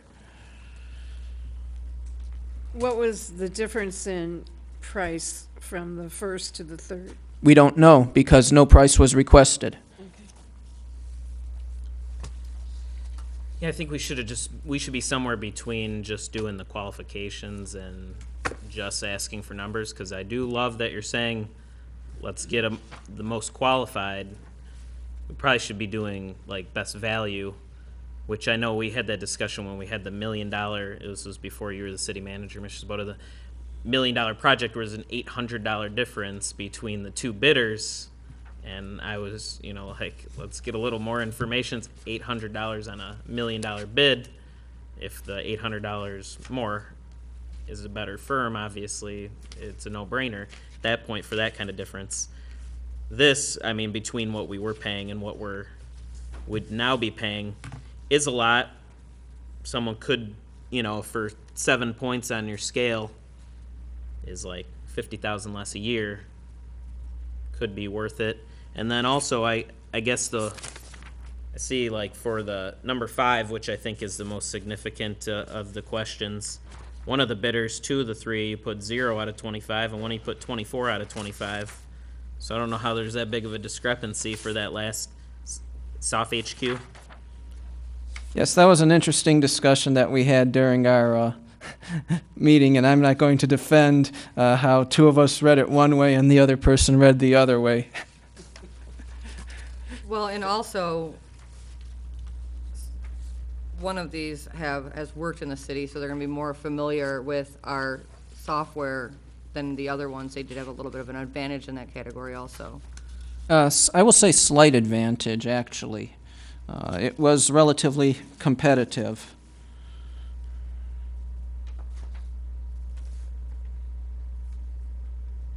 Actually, uh, one of these other firms was a prior sup- uh, supporter of IT services to the city as well, so they were also familiar with the city and the uh, systems. Who who are you talking about? Konica Minolta? No, no, no. uh, The one below uh, expert technology on the list. So do we have a motion or more questions? Um, I have one more, que- I think there was mention of credit given for the amount of money we spent with them so far. How much would that be? I honestly don't recall. um, It is a credit, definitely, because they're billing us by the hour now, and that's going to essentially be now flat rate for a year. So rate goes down. That was part of the contract negotiation, actually. All right, um, So if we got a Oh. credit, it won't be these same amounts, right? No, it will be the same amounts because we've been, since January the 1st, we've been billed on an hourly basis, and the city has paid X amount of dollars. And this contract is for a flat rate for the course of one year, billed monthly. So we are going to be credited as having already made monthly payments up to the point that our hourly rate meets those monthly uh, rates. So th- in this way, we are not going back to January 1st and making a monthly payment for January 1st. They've been providing services. They recognize now that they're going to be the contractor, contractual vendor. So they're not going to be getting extra money out of us if we're going to have a contract that we agreed would be effective January 1st. I somewhat understand that. Personally, I'd rather, I mean, because the contract that's put together now, I think, you know, these companies would understand what they need to do and could give a price, though. And, uh, we could consider it with, you know, the numbers. and What, think what I we'd be better could, off. what I could do, council member, is provide you the documentation on the uh, concept of uh, RFQs versus RFPs. I think that may be helpful. Um, When I went to the managers' meeting, and I think Mr. Altimus was at the same conference, was that in Novi, I want to say, several years ago? Uh, This was uh, presented there. Um, Are, they're not, are they in the audience right now? No, uh, no, no, they're not. Uh, I'm talking about the concept of RFPs versus RFQs. No, I, I get what you're saying, but Yeah. I was asking if the, Yeah, the, the current vendor and the proposed vendor is in the audience. Oh, they are? Oh, Yes. okay. I just Oh, didn't- there they are. Okay. Had not met you before, so sorry. Okay. Um, So what, you want to go back out for bid, is what you're saying? Oh, yeah, I mean, I, I think, cause, well, now that he's here, he's gonna hear my strategy, but, uh, That's why you came. they, um, don't have another price to go against, you know, right now, so they know they're the most qualified. That's all. I mean, you understand what I'm saying? So, that's, that's all I think. What's in here, other companies c- could bid on it, know what they're bidding on. If I could sort of give you an example where this concept will not work. If we apply for a grant for road repairs through the state of Michigan, and we are required to go out for bid, uh, we have to do an RFQ for the engineering services. We cannot ask for qualifications and price under state requirements. It has to be a flat request for qualifications, and same process is followed. You identify your most qualified company and you enter into negotiations. If you cannot come to an agreement, then you move down the list. You cannot, under those state guidelines for engineering services for uh, state-paid road projects, ask for numbers at any time. So the concept is being carried over here to IT. Uh, Not sure I hundred percent follow you there. So what you're saying is you can go, um, out for qualifications and bid, price bidding at the same time? You only can do one at a time? I mean, this is so this is why I've asked for what companies turn in in the past because I'm sure most of them have a cover sheet, something. We never see this, and this is why I've asked for the documents people turn in. If there's some like environmental advantage, I you know I've read about how they can trap the carbon when doing concrete for roads. You know, if there's something like that and we pay a little bit more, I'd be for paying for something like that as opposed to paying less and it being more of an environmental you know, hazard or whatever you want to call it. The, I think companies or bidders like to know what the rules of the game are. So if they know that it's a uh, dollar value, that's very clear. If they know it's RFQ, that's very clear. If it's a combination of both, I haven't seen that. So I don't know if we would have companies that would be willing to uh, participate because what are the rules of the game then? It's not qualifications, it's not dollar value, it's a combination of both, and how is that Well, I think- determined? I think how we typically do it is a combination of both. If they have a cover letter and stuff like that, it's gonna it's gonna um, talk about these different five different items that you were, you know, people are going to have the background of their company right when they turn in documents, who the employees are, and maybe some references and Right, and that's the evaluation that the uh, uh, tabulation committee did. We had three members on this one. There's another one that we had five members on. So uh, the administration does review all of that documentation, and we make our best recommendation, professional recommendation to the legislative body based on that. So that's a state law, you can't go out for both, that's what you're saying? Uh, No, I'm saying if this was a transportation, state, Michigan transportation funded road project, you cannot go out for both. You- It has to be an RFQ for the engineering services. You cannot ask for quotes. That's not engineering. And I know this isn't engineering, but this is the, the theory behind it. It's either one or the other. And the state of Michigan believes that qualifications is more important than dollar value. Well, I see what you're saying, but since we're not talking about engineering, we're talking about this one at hand. Right. And we go back out. I guess. I would recommend against it. Uh, Number one, it would be extremely expensive for the city because we're already paying an hourly rate. Uh, Number two, we're probably looking at a couple of months going out. Um, The longer we go without a contract, the more expensive it's going to be to the city. Well, I guess in the future, if it's not engineering, can we get both? Um, I think there's a lot of people in IT that would consider it engineering. uh, Well, engineering, well, he was talking about something else. There are engineers in the IT field. I mean, when you're designing systems, you, you need engineering. Yeah. So this is, in a way, engineering in some extent, especially considering some of the tasks that we have identified in our needs analysis in terms of uh, reviewing the system and potentially redesigning it to make it work better. We seem to have a, uh, I don't want to call it Frankenstein again, but we have a, if you, we actually provided pictures of some of the uh, uh, challenges, let's just say, to, so the bidders know what they're getting involved in.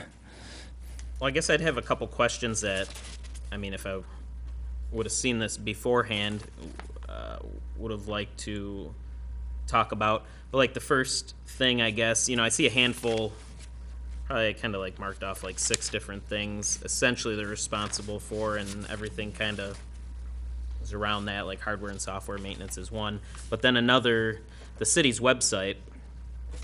Says the contractor shall update the city's website when needed. I think that they should not be updating the city's website. All the different departments should be updating their parts of the website and things like that. We shouldn't be paying an IT professional to I- post on the website. Right, I know I don't have the knowledge or experience in how to post to a website. I'm not sure how many department heads do. Our police department is very good at posting on Facebook, They're so I. Uh, so I think, I mean, most systems is just like Facebook. You just put a bunch of text in, bold it, and it's on the website. I don't think we should be paying But an IT when, professional to do all that. I don't know what that meant. I mean, it's just one sentence in here. Right, So- that's not a major component of the uh, It was project. more, more for just uh, having the capabilities of doing something in an emergency situation of getting, you know, snow emergencies out there or post that kind of stuff. We don't want these folk, we want these folks to build our infrastructure. We don't want them doing websites.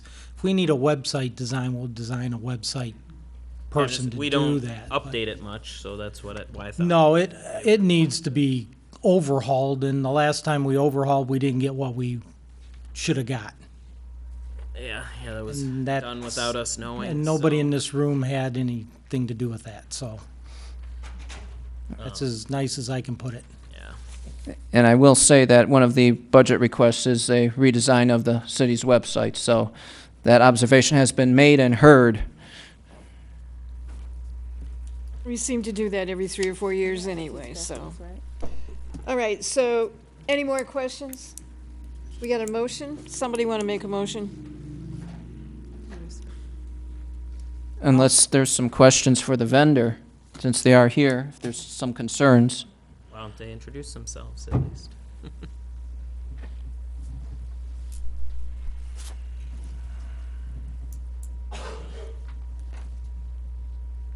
You just state your name and, Mayor, Council. My name is Tyler Berta, Vice President of Expert Technology Services, current vendor, and happy to answer any questions you may have about what we would be providing for the, uh, the contract you have there. I'm just gonna ask one, how large is your company? Our company currently, we have eight employees. Okay. That's the only question I have. I mean, I, I could probably so would you like to have make a a bunch, motion? but. Do you have more Yeah. questions? No, I, I, I guess I was expecting a little longer intro, that's all, but. Let me, I was gonna say, let me jump forward and answer some of the questions that I think you have from the contract. You're looking at the, excuse me, the number that is there. Obviously, you don't have any other numbers to compare that to. Uh, From this process, going through it multiple times in the past year with a lot of different cities, um, that number will be competitive. I can guarantee you, you will get a lower number. Um, but I know that the vendors that are that lower number are numbers five and six on your assessment list there. we do know the city's infrastructure. We specialize in cities and public safety. Uh, we do 911 service for most of the state of Michigan and nine, and uh, Ohio. Um, we do a lot of BSNA work, anything that would be municipal based. Um, our technicians live locally. We're a small business. We're not a giant corporation where you're going to call and have to press five, six, seven, and eight to talk to somebody. When you call, you get service right away. You will also have a staff person here full time, which is important. Um, I don't know what the other um, respondents maybe said about having someone full time, but you're also not getting a tier one help desk technician here. You're getting a full IT director. Um, and on top of that, you get the support of all of our engineering staff and 24 hour support staff. So um, to look at it that way, excuse me, you're not just getting, you know, IT services. You're getting the whole thing. You get 24 hour support. You get dedicated support from our company, not just uh, one IT person on staff to change out desktops and things like that. So we do, like we talked about, engineering, design, and build out. So we will do all of those things in that price flat rate. So you're not going to get bombarded with, oh, we have to update a large part of the network in the city, and that's going to be a thirty or forty thousand dollar project. That's stuff that we offer, so that is included in your price.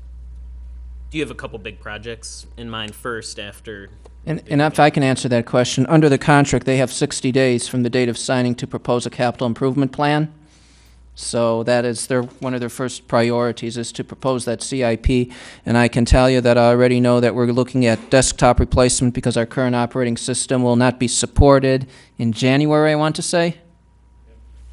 So new computers are part of that plan for desktop support. Oh, so even all the computers are on what, when X, or no? Window, uh, A- Anything. Well, Windows- Windows 7. Anything Windows 7 will be upgraded to Windows 10, and we'll, we'll Okay. address those case by case if it's a replacement or an upgrade. And like the email server, that's, that's out in January too. Exchange, we're on Exchange That is 2010. also at the top of the list. Um, Exchange, uh, email exchange, backups, and the city network are basically the three top things to make sure that you've got redundancy, a good working email system, and a reliable network that all that stuff can operate on. Because right now, um, it actually is a nice design, and it just wasn't maintained very well. So unfortunately, um, you know, something that's really nice that you paid a lot of money for uh, is not uh, not operating at its optimal value. And you know that we, so we have eastpointemi.gov. Be nice to see, um, things move to that and. Yeah, and I wasn't hundred percent sure at first, but I know we could do, we have eastpointecity.org. We could have both, so mine, C DeMonaco at eastpointecity.org and eastpointemi.gov. Go into the same account, you can have two separate domains. Um, you know, if, if anyone's interested, email yourself at googlemail.com instead of gmail.com, come, it'll still come to you. Um, but that, and then if we're updating the website, be good to see everything on .gov, so it's more respected, and we don't have a coupled. We got a, you know, cityofeastpointe.net for the website and eastpointecity. Did we ever get the .gov back? Yes, we, Yeah, we .gov got that all set. Goes to our. We've just been- So are we paying, what is it, homepage right four now. hundred a year for that? Uh, yeah, I think it was that. I think that's what it was. Uh, our discussions, Tyler and I's discussions have been mostly infrastructure. I'm more worried about getting our, in- getting our infrastructure, um, set the way they feel it needs to be, and then we'll start to migrate, you know, things over. Okay. Thanks for coming out. Absolutely. Thank you, and thank you for consideration. So are you ready to make a motion? Yeah, Madam Mayor, I'll make a motion uh, that we approve the contract for information technology services with Expert Technology Services as presented. Support. Please call the roll. Councilmember Klinefelt? Yes. Councilmember Lucido? Yes. Councilmember Owens? Yes. Mayor Pixley? Yes. Councilmember DeMonaco? Yes. Item K is the introduction and the first reading of the ordinance number blank. Uh, That will be 1165, I want to say, because I think we just voted on 1164. To amend chapter thirty related to peddlers, solicitors, and handbill distributors. Article three, charitable solicitations. Do we have a motion, please? Sure, Madam Mayor, I'll motion to uh, introduce and give first reading to ordinance number 1165, we said, right? Which would amend Chapter 30, peddlers, solicitors, and handbill distributors, Article Three, uh, charitable solicitations and schedule the ordinance for second reading, consideration for adoption at City Council's April 2, 2019 regular meeting. Support. Move support. Please call the roll. Councilmember DeMonaco? Yes. Councilmember Owens? Yes. Mayor Pixley? Yes. Councilmember Lucido? Yes. Councilmember Klinefelt? Yes. Item L is the adoption of resolution for the investment portfolio policy. Mr. Blum, did you want to speak to this? Um, Yeah, the last time this uh, investment policy was uh, updated was 2010. Um, And it did not include everything, and I don't know if it's been an amendment, I don't think so. I think the amendment happened before we adopted it, it just didn't get included. Um, It did not list all of the available investment options approved by the state under PA 20. Um, That came up when we tried to uh, do some investments with a company called Michigan Class, and they fell under what I would call um, H. If, if you go through the authorized investment section, excuse me, it goes A through J. They fall under the H category, and we did not have that in the last um, adoption, so we could not place any funds with them. Um, I guess the best way to describe it would be kind of like our MMRMA insurance, where it's a group of municipalities that pool their resources together to uh, cover the insurance. This is the same concept. We pool our investment money, and Michigan Class manages them and can get better investments than an individual city can do on their own. Um, The last figures I saw, they were paying or earning uh, 2.38%.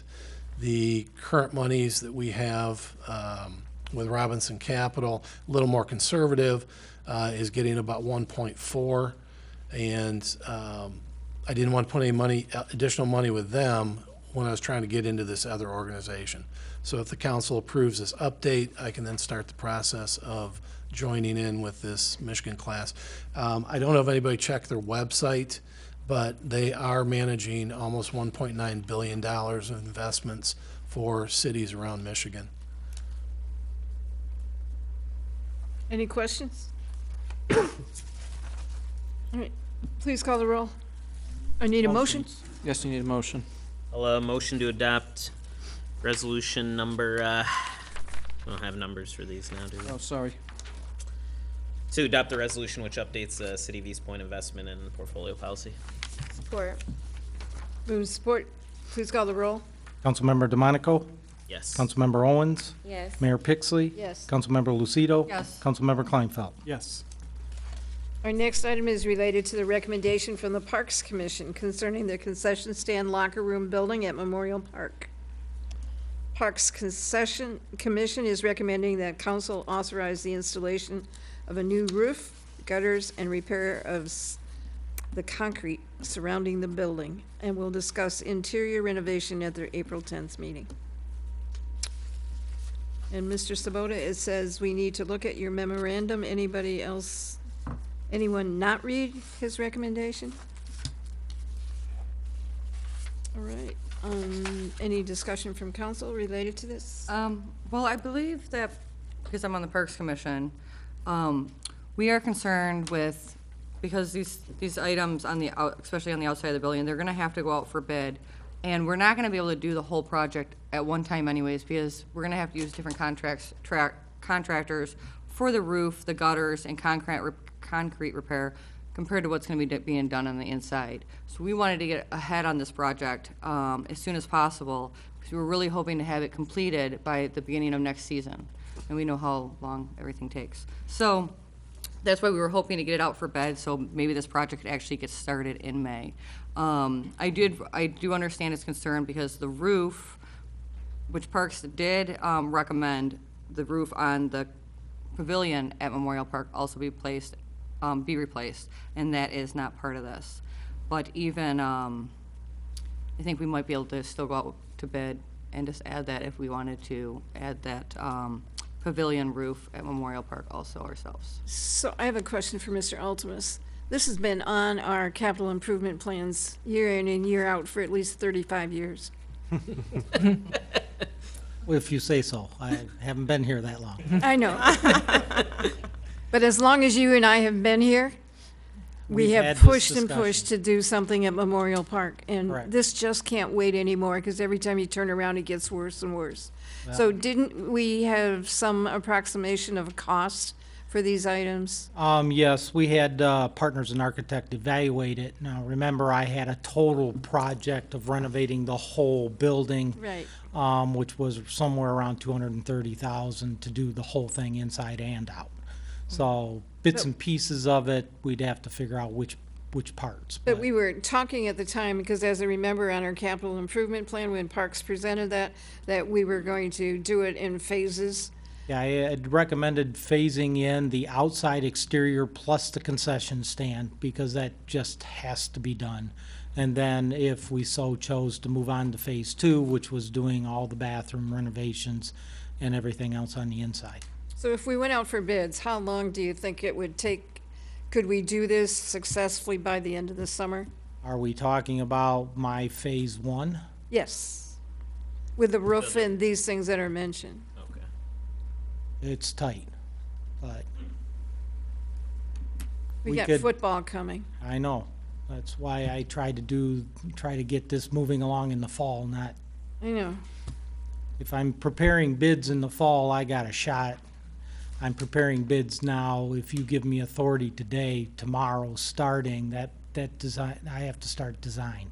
So, but Parks and Rec, I mean, Parks um, in Architecture, they already looked at it, reviewed it, and essentially came up with some plans that were included in that capital improvement. Mike has some preliminary ideas of, of how we want to proceed um, with that and what to do, and obviously they have multiple experiences in doing this kind of work um, for concession stands at football um, stadiums. So um, if you tell me to go ahead and do it, I'll do it.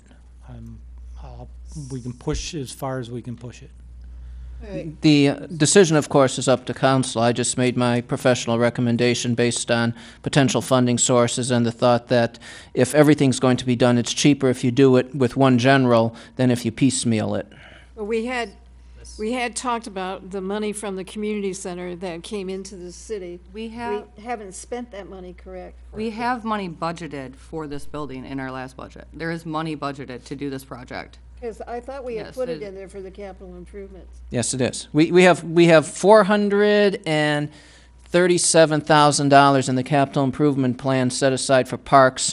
Uh, take away whatever portion we just approved at a previous meeting for Roxana Park, that's already been committed, so But I let's call it four hundred thousand But I left. believe that we had targeted two hundred and twenty thousand for For this. this project, yes. Yeah, I And- thought it was two eleven, but right, two, Yeah. two hundred and some. And back to what Mr. Alderman said, some of the things on that list that you have have actually already been completed. There are some, some work that has been done to those bathrooms. The stalls have been put up, there's partitioners, there's, now there's sinks in there that are working and operating. Um, there was just a couple of things, I know like the Parks Commission wanted to add a drinking fountain, that was not on that list. Um, we thought that was important to have a drinking fountain there. Also, they, um, wanted to recommend putting bathrooms in the locker rooms, just a small ba, you know, stall in, uh, one- in each one. But other than that, like I said, yeah, I, I think we need to get moving on this as soon as possible. Well, so. and, and then the other thing is we rent out the pavilions there, and the only restroom is in this building, correct? Mm-hmm. So this has gotta be fixed. We shouldn't have to be taking porta potties over there all the time when we have restrooms that are available. So the bathrooms are in complete working order. They, they, everything has pretty much been done in the bathrooms. I, I think the nice- recommendation that we made to do this in phases is appropriate. Um, you gotta get the outside fixed first, you gotta get that concession stand where it meets health, health standards. And I think from there, you can decide what you wanna do on the inside. Um, uh, whether you're fully renovating, you know, restrooms or just you know, accommodating what's there. There are some opportunities on that building. It is huge. Um, that you could take on the whole south end of that building and basically take out some walls and open it up as a storage facility with garage doors. So there's a whole lot of opportunity with that building, um, once you get the envelope sealed. And that has to be done. The, the roof has to be done, the gutters have to be done, windows need to be looked at, and obviously that concession stand. Correct. Yep. So Ms. council, Lucido, yours. uh, what's your, Yeah, and I, and I, recommending Mr. and I do think that when, because we're gonna do the roof on this building, city council should consider doing the pavilion roof, only because that, it does need to be done, so when, when the motion's made, I think that's important. I, I think what we're looking for is perhaps um, um, a motion or consensus of the opinion to ask Mr. Altimus to go forward and come back with plans um, from Parks and, Parks and Architecture Plan and Design and costs and figures so that we can put a package together and get something done. I think that we can move forward with his phase one already. I think Parks, I mean, Partners already kinda has an idea on that. We can move forward with phase one and start Yeah, I getting don't bids on think phase doing one. the outside is gonna take a lot of energy to develop bids and specs and design on that. You're Right. talking about a roof, gutter, it is what it Doors, is. Doors, concrete, you know, that kind of stuff, so. So do you want Would to make you- a motion, somebody? Um, well, I just wanted to ask, would you intend for the, uh, work on the concession area to also be, uh, go out for bid?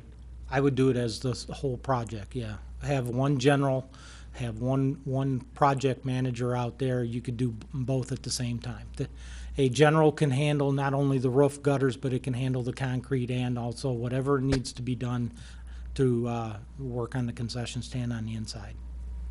All right, um, I'd like to make a motion to direct administration to, um, uh, prepare an RFP to solicit bids to do work on the exterior concrete, the roof, the gutters, and the, uh, concession area, and move forward with that as quickly as possible. What about the And pavilion? adding the. Oh, and including the roof for the pavilion. Support. I had a question, um, because we didn't get to ask all council questions. Um, with, when you have sent something out, is it cheaper to send everything out at one time or send it out one at a time? No, the energy level for the architect, it's, it's actually easier to do a, a full combined bid versus four separate ones. So if you're gonna do it separated and you wanna separate out your concrete versus your roofing and versus whatever we're gonna do in the concession stand, that takes a little more energy. In this case, if we do it all in one project, you have one document, one submittal, and, and one basically design. Well, that's what I'm thinking because if you guys been doing this for, like she said, 35 years, um, all that stuff should be already panned out what we need and what we shouldn't need, and we just bid all that out while we, and then come out with a, uh, you know, and then that person who does it comes out with what they're gonna do with, by phases. I mean, in all honesty, what, what Michael just put in there is pretty much all I think the Parks Commission thinks that really needs to be done to that building, with the exception of the other side really being cleaned out right now. I mean, though, because the bathrooms have already been, been completed. Yeah, there's, there's some things that we looked at, we thought could do better, um, on the inside. Obviously, our, our, um, task when we were asked to look at the building several years ago and recently was what can we do to make the building better overall? And at that time, that wasn't done. At that time, we had sinks hanging off the wall, we had very bad water pressure, we had all kinds of problems. Um, our whole thought process is going in on phase two, gutting it, putting in the new electrical, putting in new plumbing, things that haven't been modified over the years or repaired, and putting it all new. So then you're not having to deal with it year after year. You're walking in with new electrical and everything and new gas. And at the same time, you got the opportunity at that point then to modify the inside as you need or how your needs dictate. That was what was behind the second phase on the inside, and that was just us Well, the locker getting rooms also. kind of a blank Phase two canvas, then. canvas of be, painting and saying, if you were to make this what you really think it should be, what will it take? And that was our outside number. We can always get phase two into the, um, the plan, um, the, what- what's the word I want, the, As an addendum? N- no, um, what's the word I want? The plan that we never approved. Master plan. It's for the recreation master plan, um, so that we can get grants, um, to cover phase two and or phase three. Because we haven't got a parks grant in at least fifty years, fifty thousand years.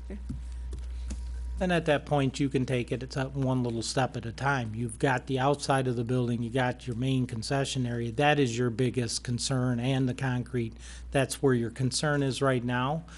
Later on in a couple years, if you want to tackle and take the south si- south end of that building, gut it out and make it a storage facility with the, the, the, the real bad a- aspect of those is also the doors on those things are all, as we saw, are in bad condition too. Right, So- and that's, I'm hoping would be I part of think- phase one, is all the exterior. Exactly. But I, I think if it's gonna be used, we really should focus also, um, cause we have the money, so we should be able to bring that refreshment stand up to the Department of Public Health standards. That was all in phase one plan, yes. Okay.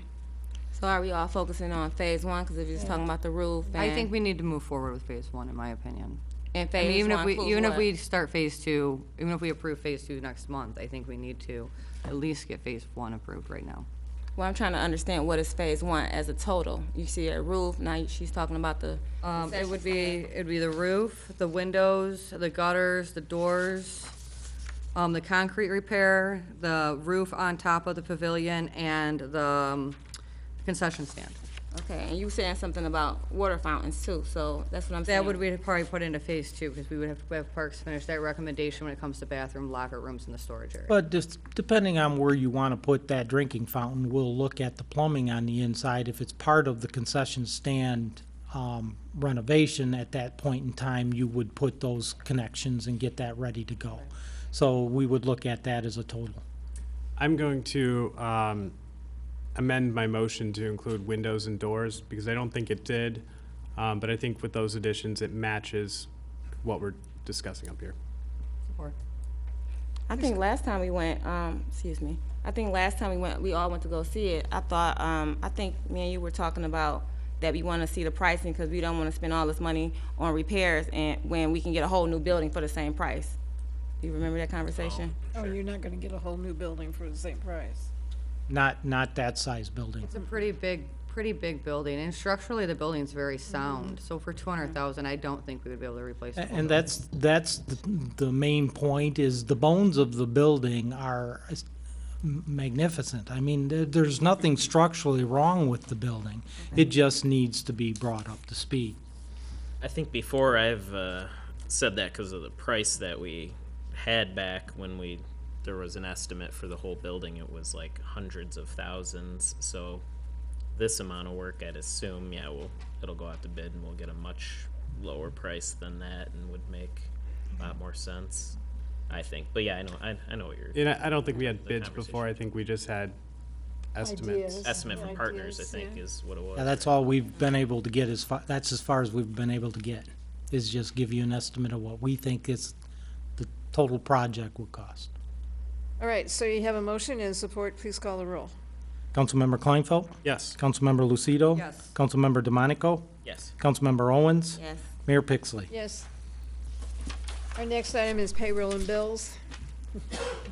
Madam Mayor, I'll make a motion to approve payment of the bills in the amount of two million, one hundred and forty-eight thousand, six hundred and twenty-three dollars and eight cents. Support.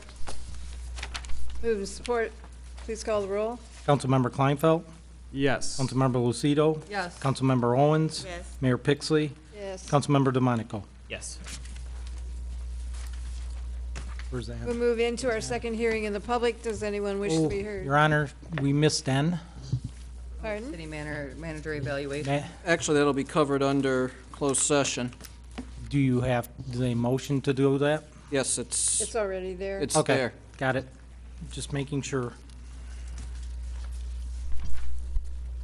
All right, the second hearing in the public is open. Does anyone wish to be heard? There you are. I thought I was recognized, but then we got sidetracked. Good evening, Mayor Pixley, Council, thank you so much. As a member of the Parks Commission, we've really been putting a lot of energy into what needs to be done at the parks, and Memorial Field was one of our biggest concerns. It's the most used park when you look at other activities, and we all know that this has been a project that's been fallen on the wayside for years. It's not going to be fixed overnight, but tonight, you're moving forward with this is giving all of us hope of seeing our park system become an A1 park system in the city again. Thank you. Thank you, sir. Mr. Creech?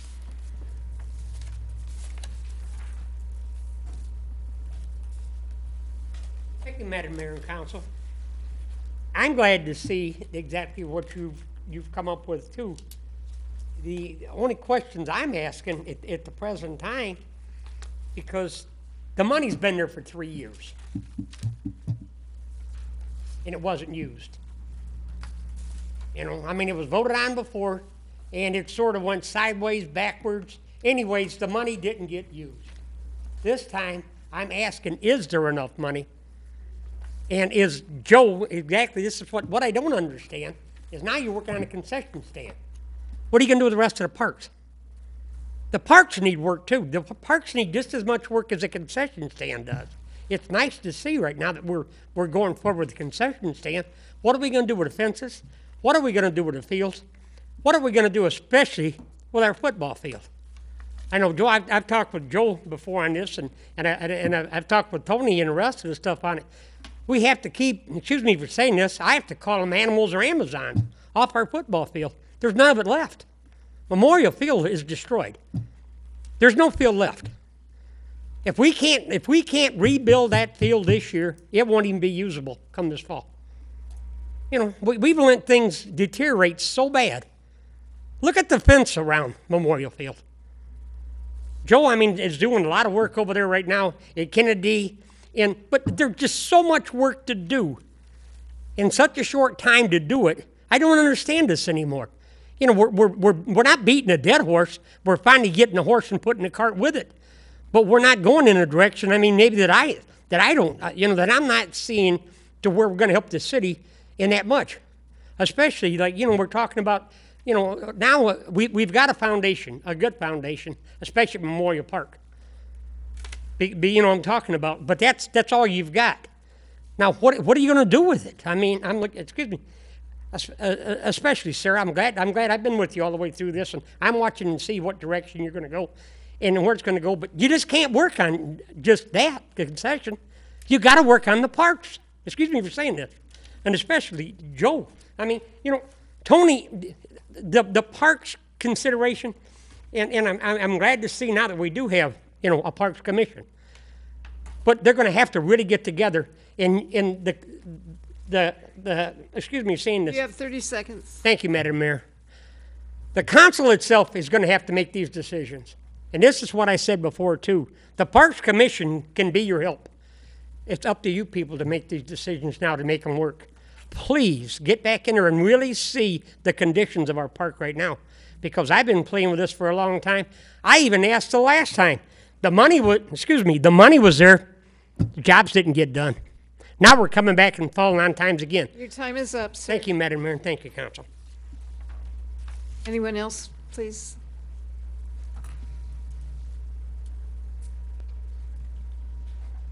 Good evening, um, Madam Mayor and City Council members. I just wanted to say thank you for reappointing me to the Zoning Boards of Appeal and for the opportunity to take the class for city planners. It's been interesting, and I'm sure that we're all going to benefit greatly from it. Thank you. Anyone else wish to be heard?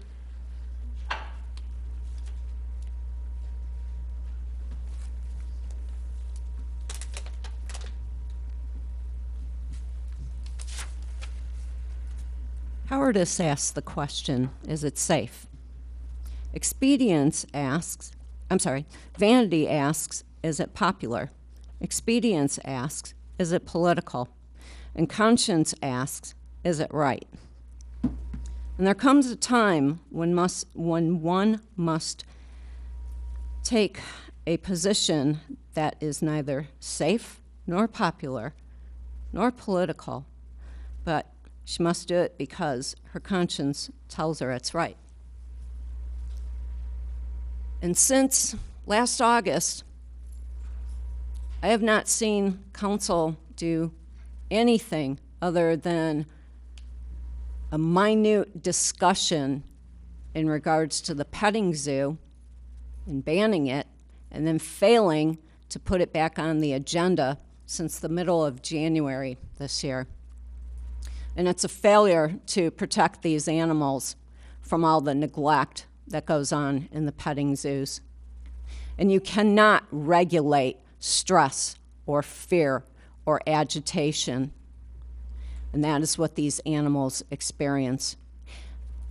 And for the council to sit and do nothing and look the other way and turn a blind eye and a deaf ear to what is going on with the animals is shameful.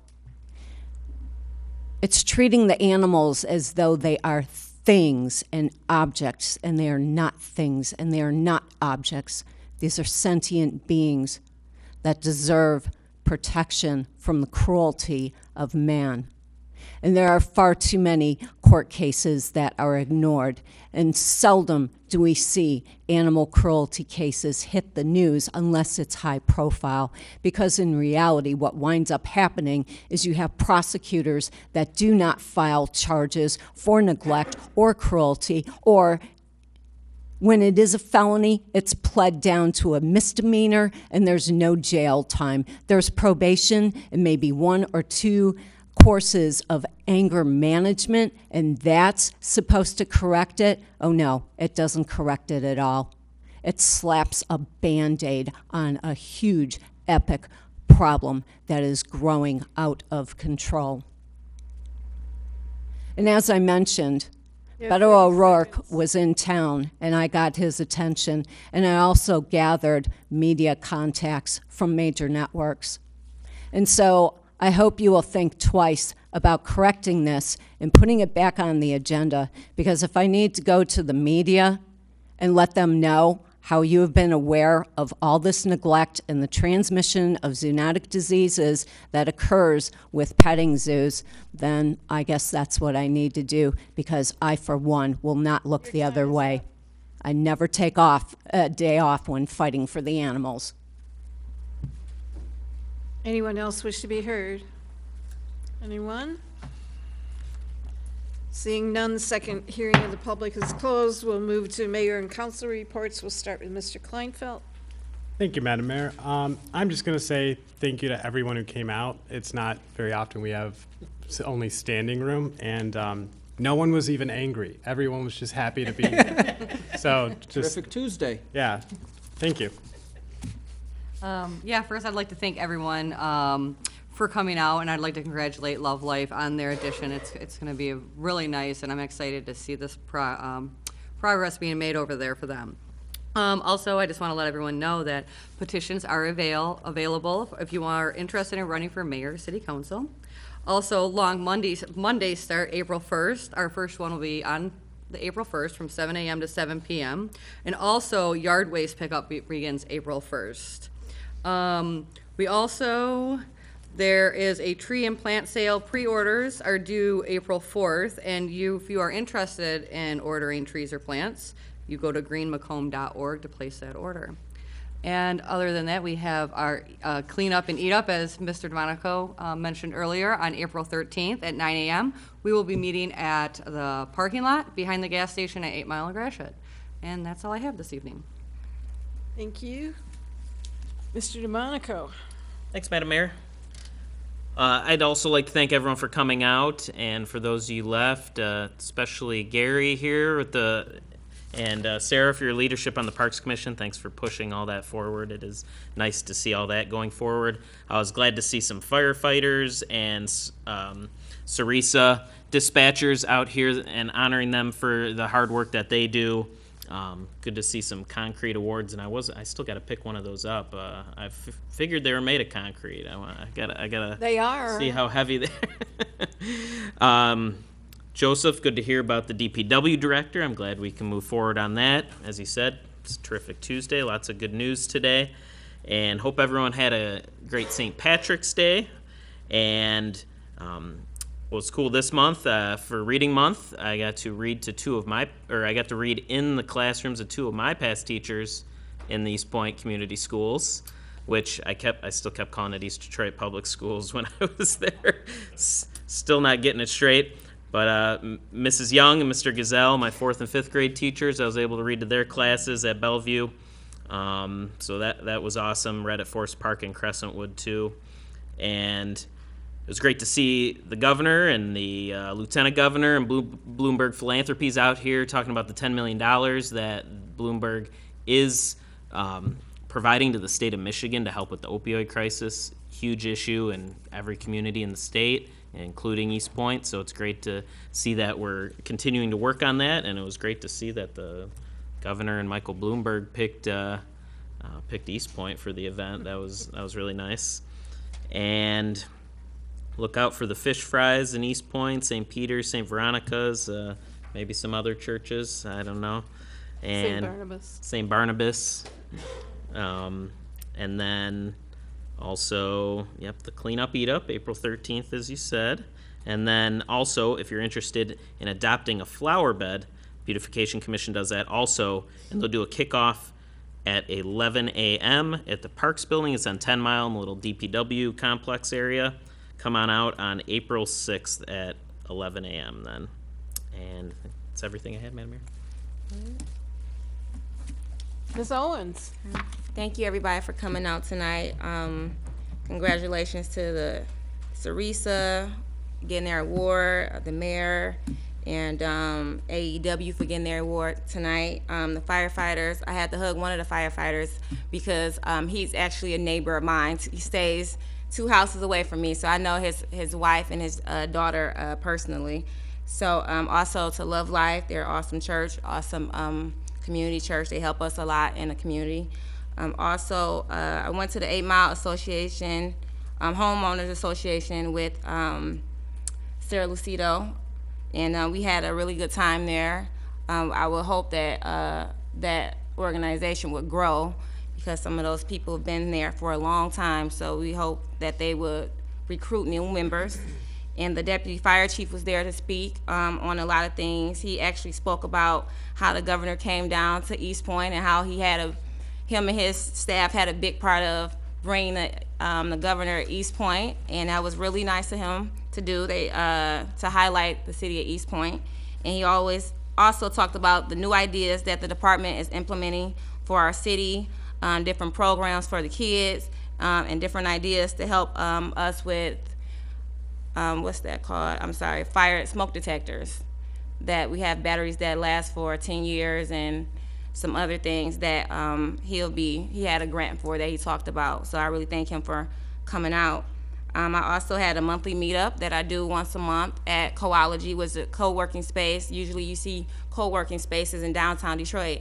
So when I found one in Eastpointe, right around the corner from me, I was very excited because a lot of uh, new things. Everybody can go. Everybody doesn't go downtown Detroit all the time, so it's kind of cool to have some of those things in our community.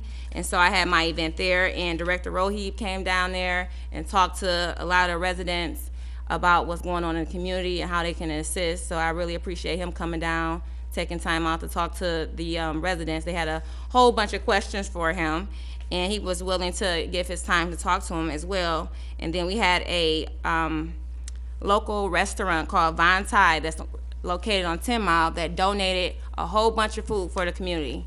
Um, I thought they were just gonna bring out samples. They brought up three big tubs of orange, um, orange chicken, um, rice, rangoons, all type of food. So when they came out, all the residents was happy. Some residents ate and went to the restaurant and, and supported them. So I'm just glad that we have local businesses that are coming to Eastpointe and, and not only investing, but um, helping the community and build up our community. I also had my 4-H program that I did yesterday at the middle school, and we had Cloverleaf donate some food to the kids as well. Again, we have restaurants and local businesses that are investing in what, um, you know, moving the community forward, you know, and I really appreciate Cloverleaf and Tide doing, donating that food and um, taking time out to give back to the community. Um, also, uh, like Mr. DeMonaco said, uh, make sure you go to the fish fry. Predominantly, I'm going to be uh, selective to go to St. Peter's because my kids go there. So um, they do it every Friday. It's ten dollars for adults, five dollars for kids. All you can eat, and um, I just really love St. Peter's. They have a lot of different events in the community. It's it's a community church, just like Love Life. You can go there. They have adult volleyball on Fridays.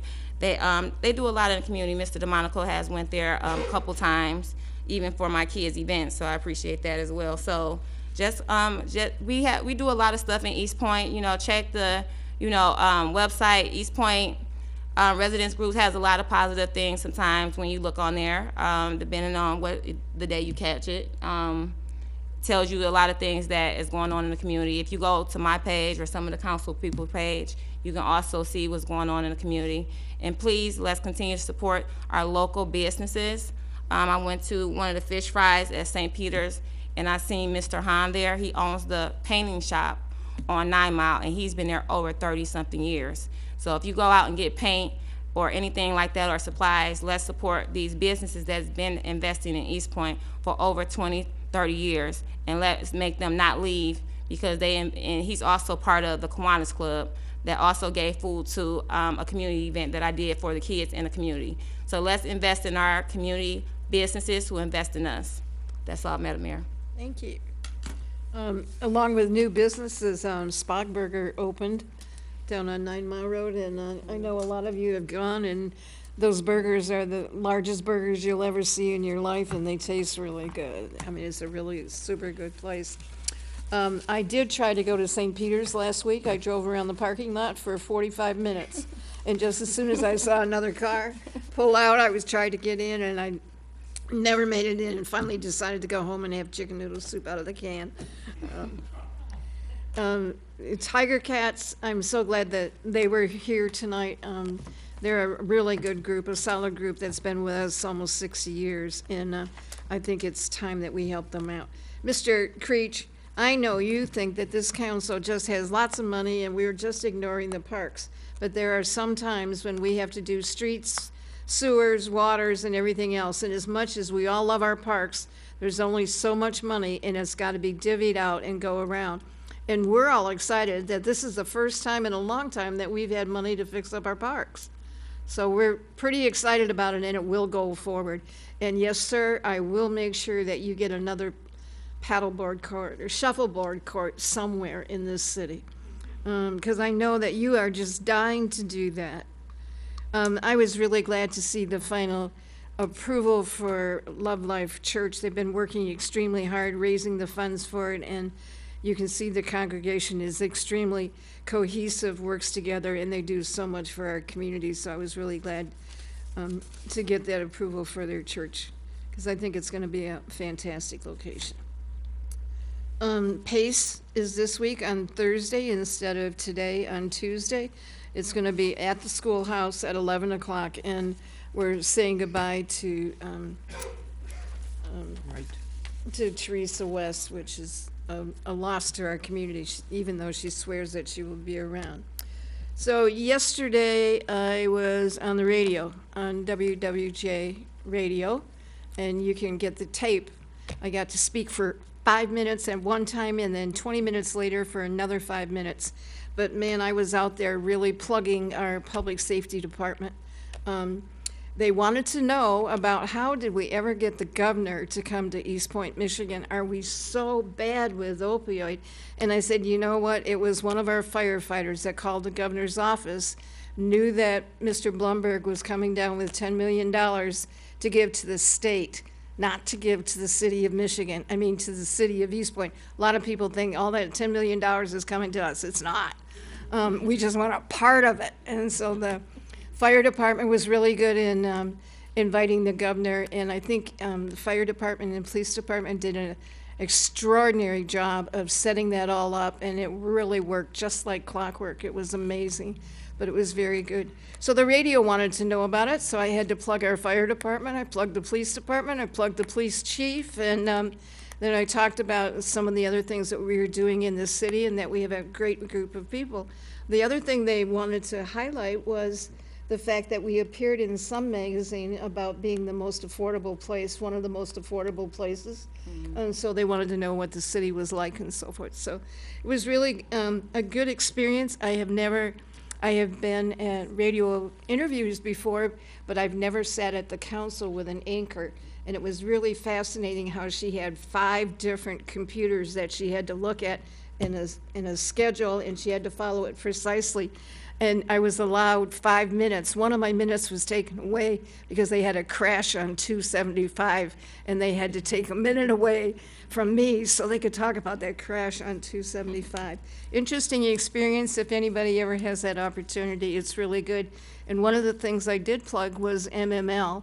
Um, and they wanted to know, I had said I was out of town last week, so they wanted to know what MML was, and um, did we go to their recent convention or their legislative conference and what was discussed? So I got to plug MML as well, so I was very excited to be able to do that and to say that, yes, our council was very involved in going up and reaching out and talking to legislators and bringing back good ideas back to our city. So it was a good, um, it was a good time. Interesting time, though. I got to drive along Eight Mile Road all the way rather than get stuck in 696. And I, when I turned that corner at Eight Mile and Gratiot, I said, "Oh my gosh, that beautification commission is going to have one really long job.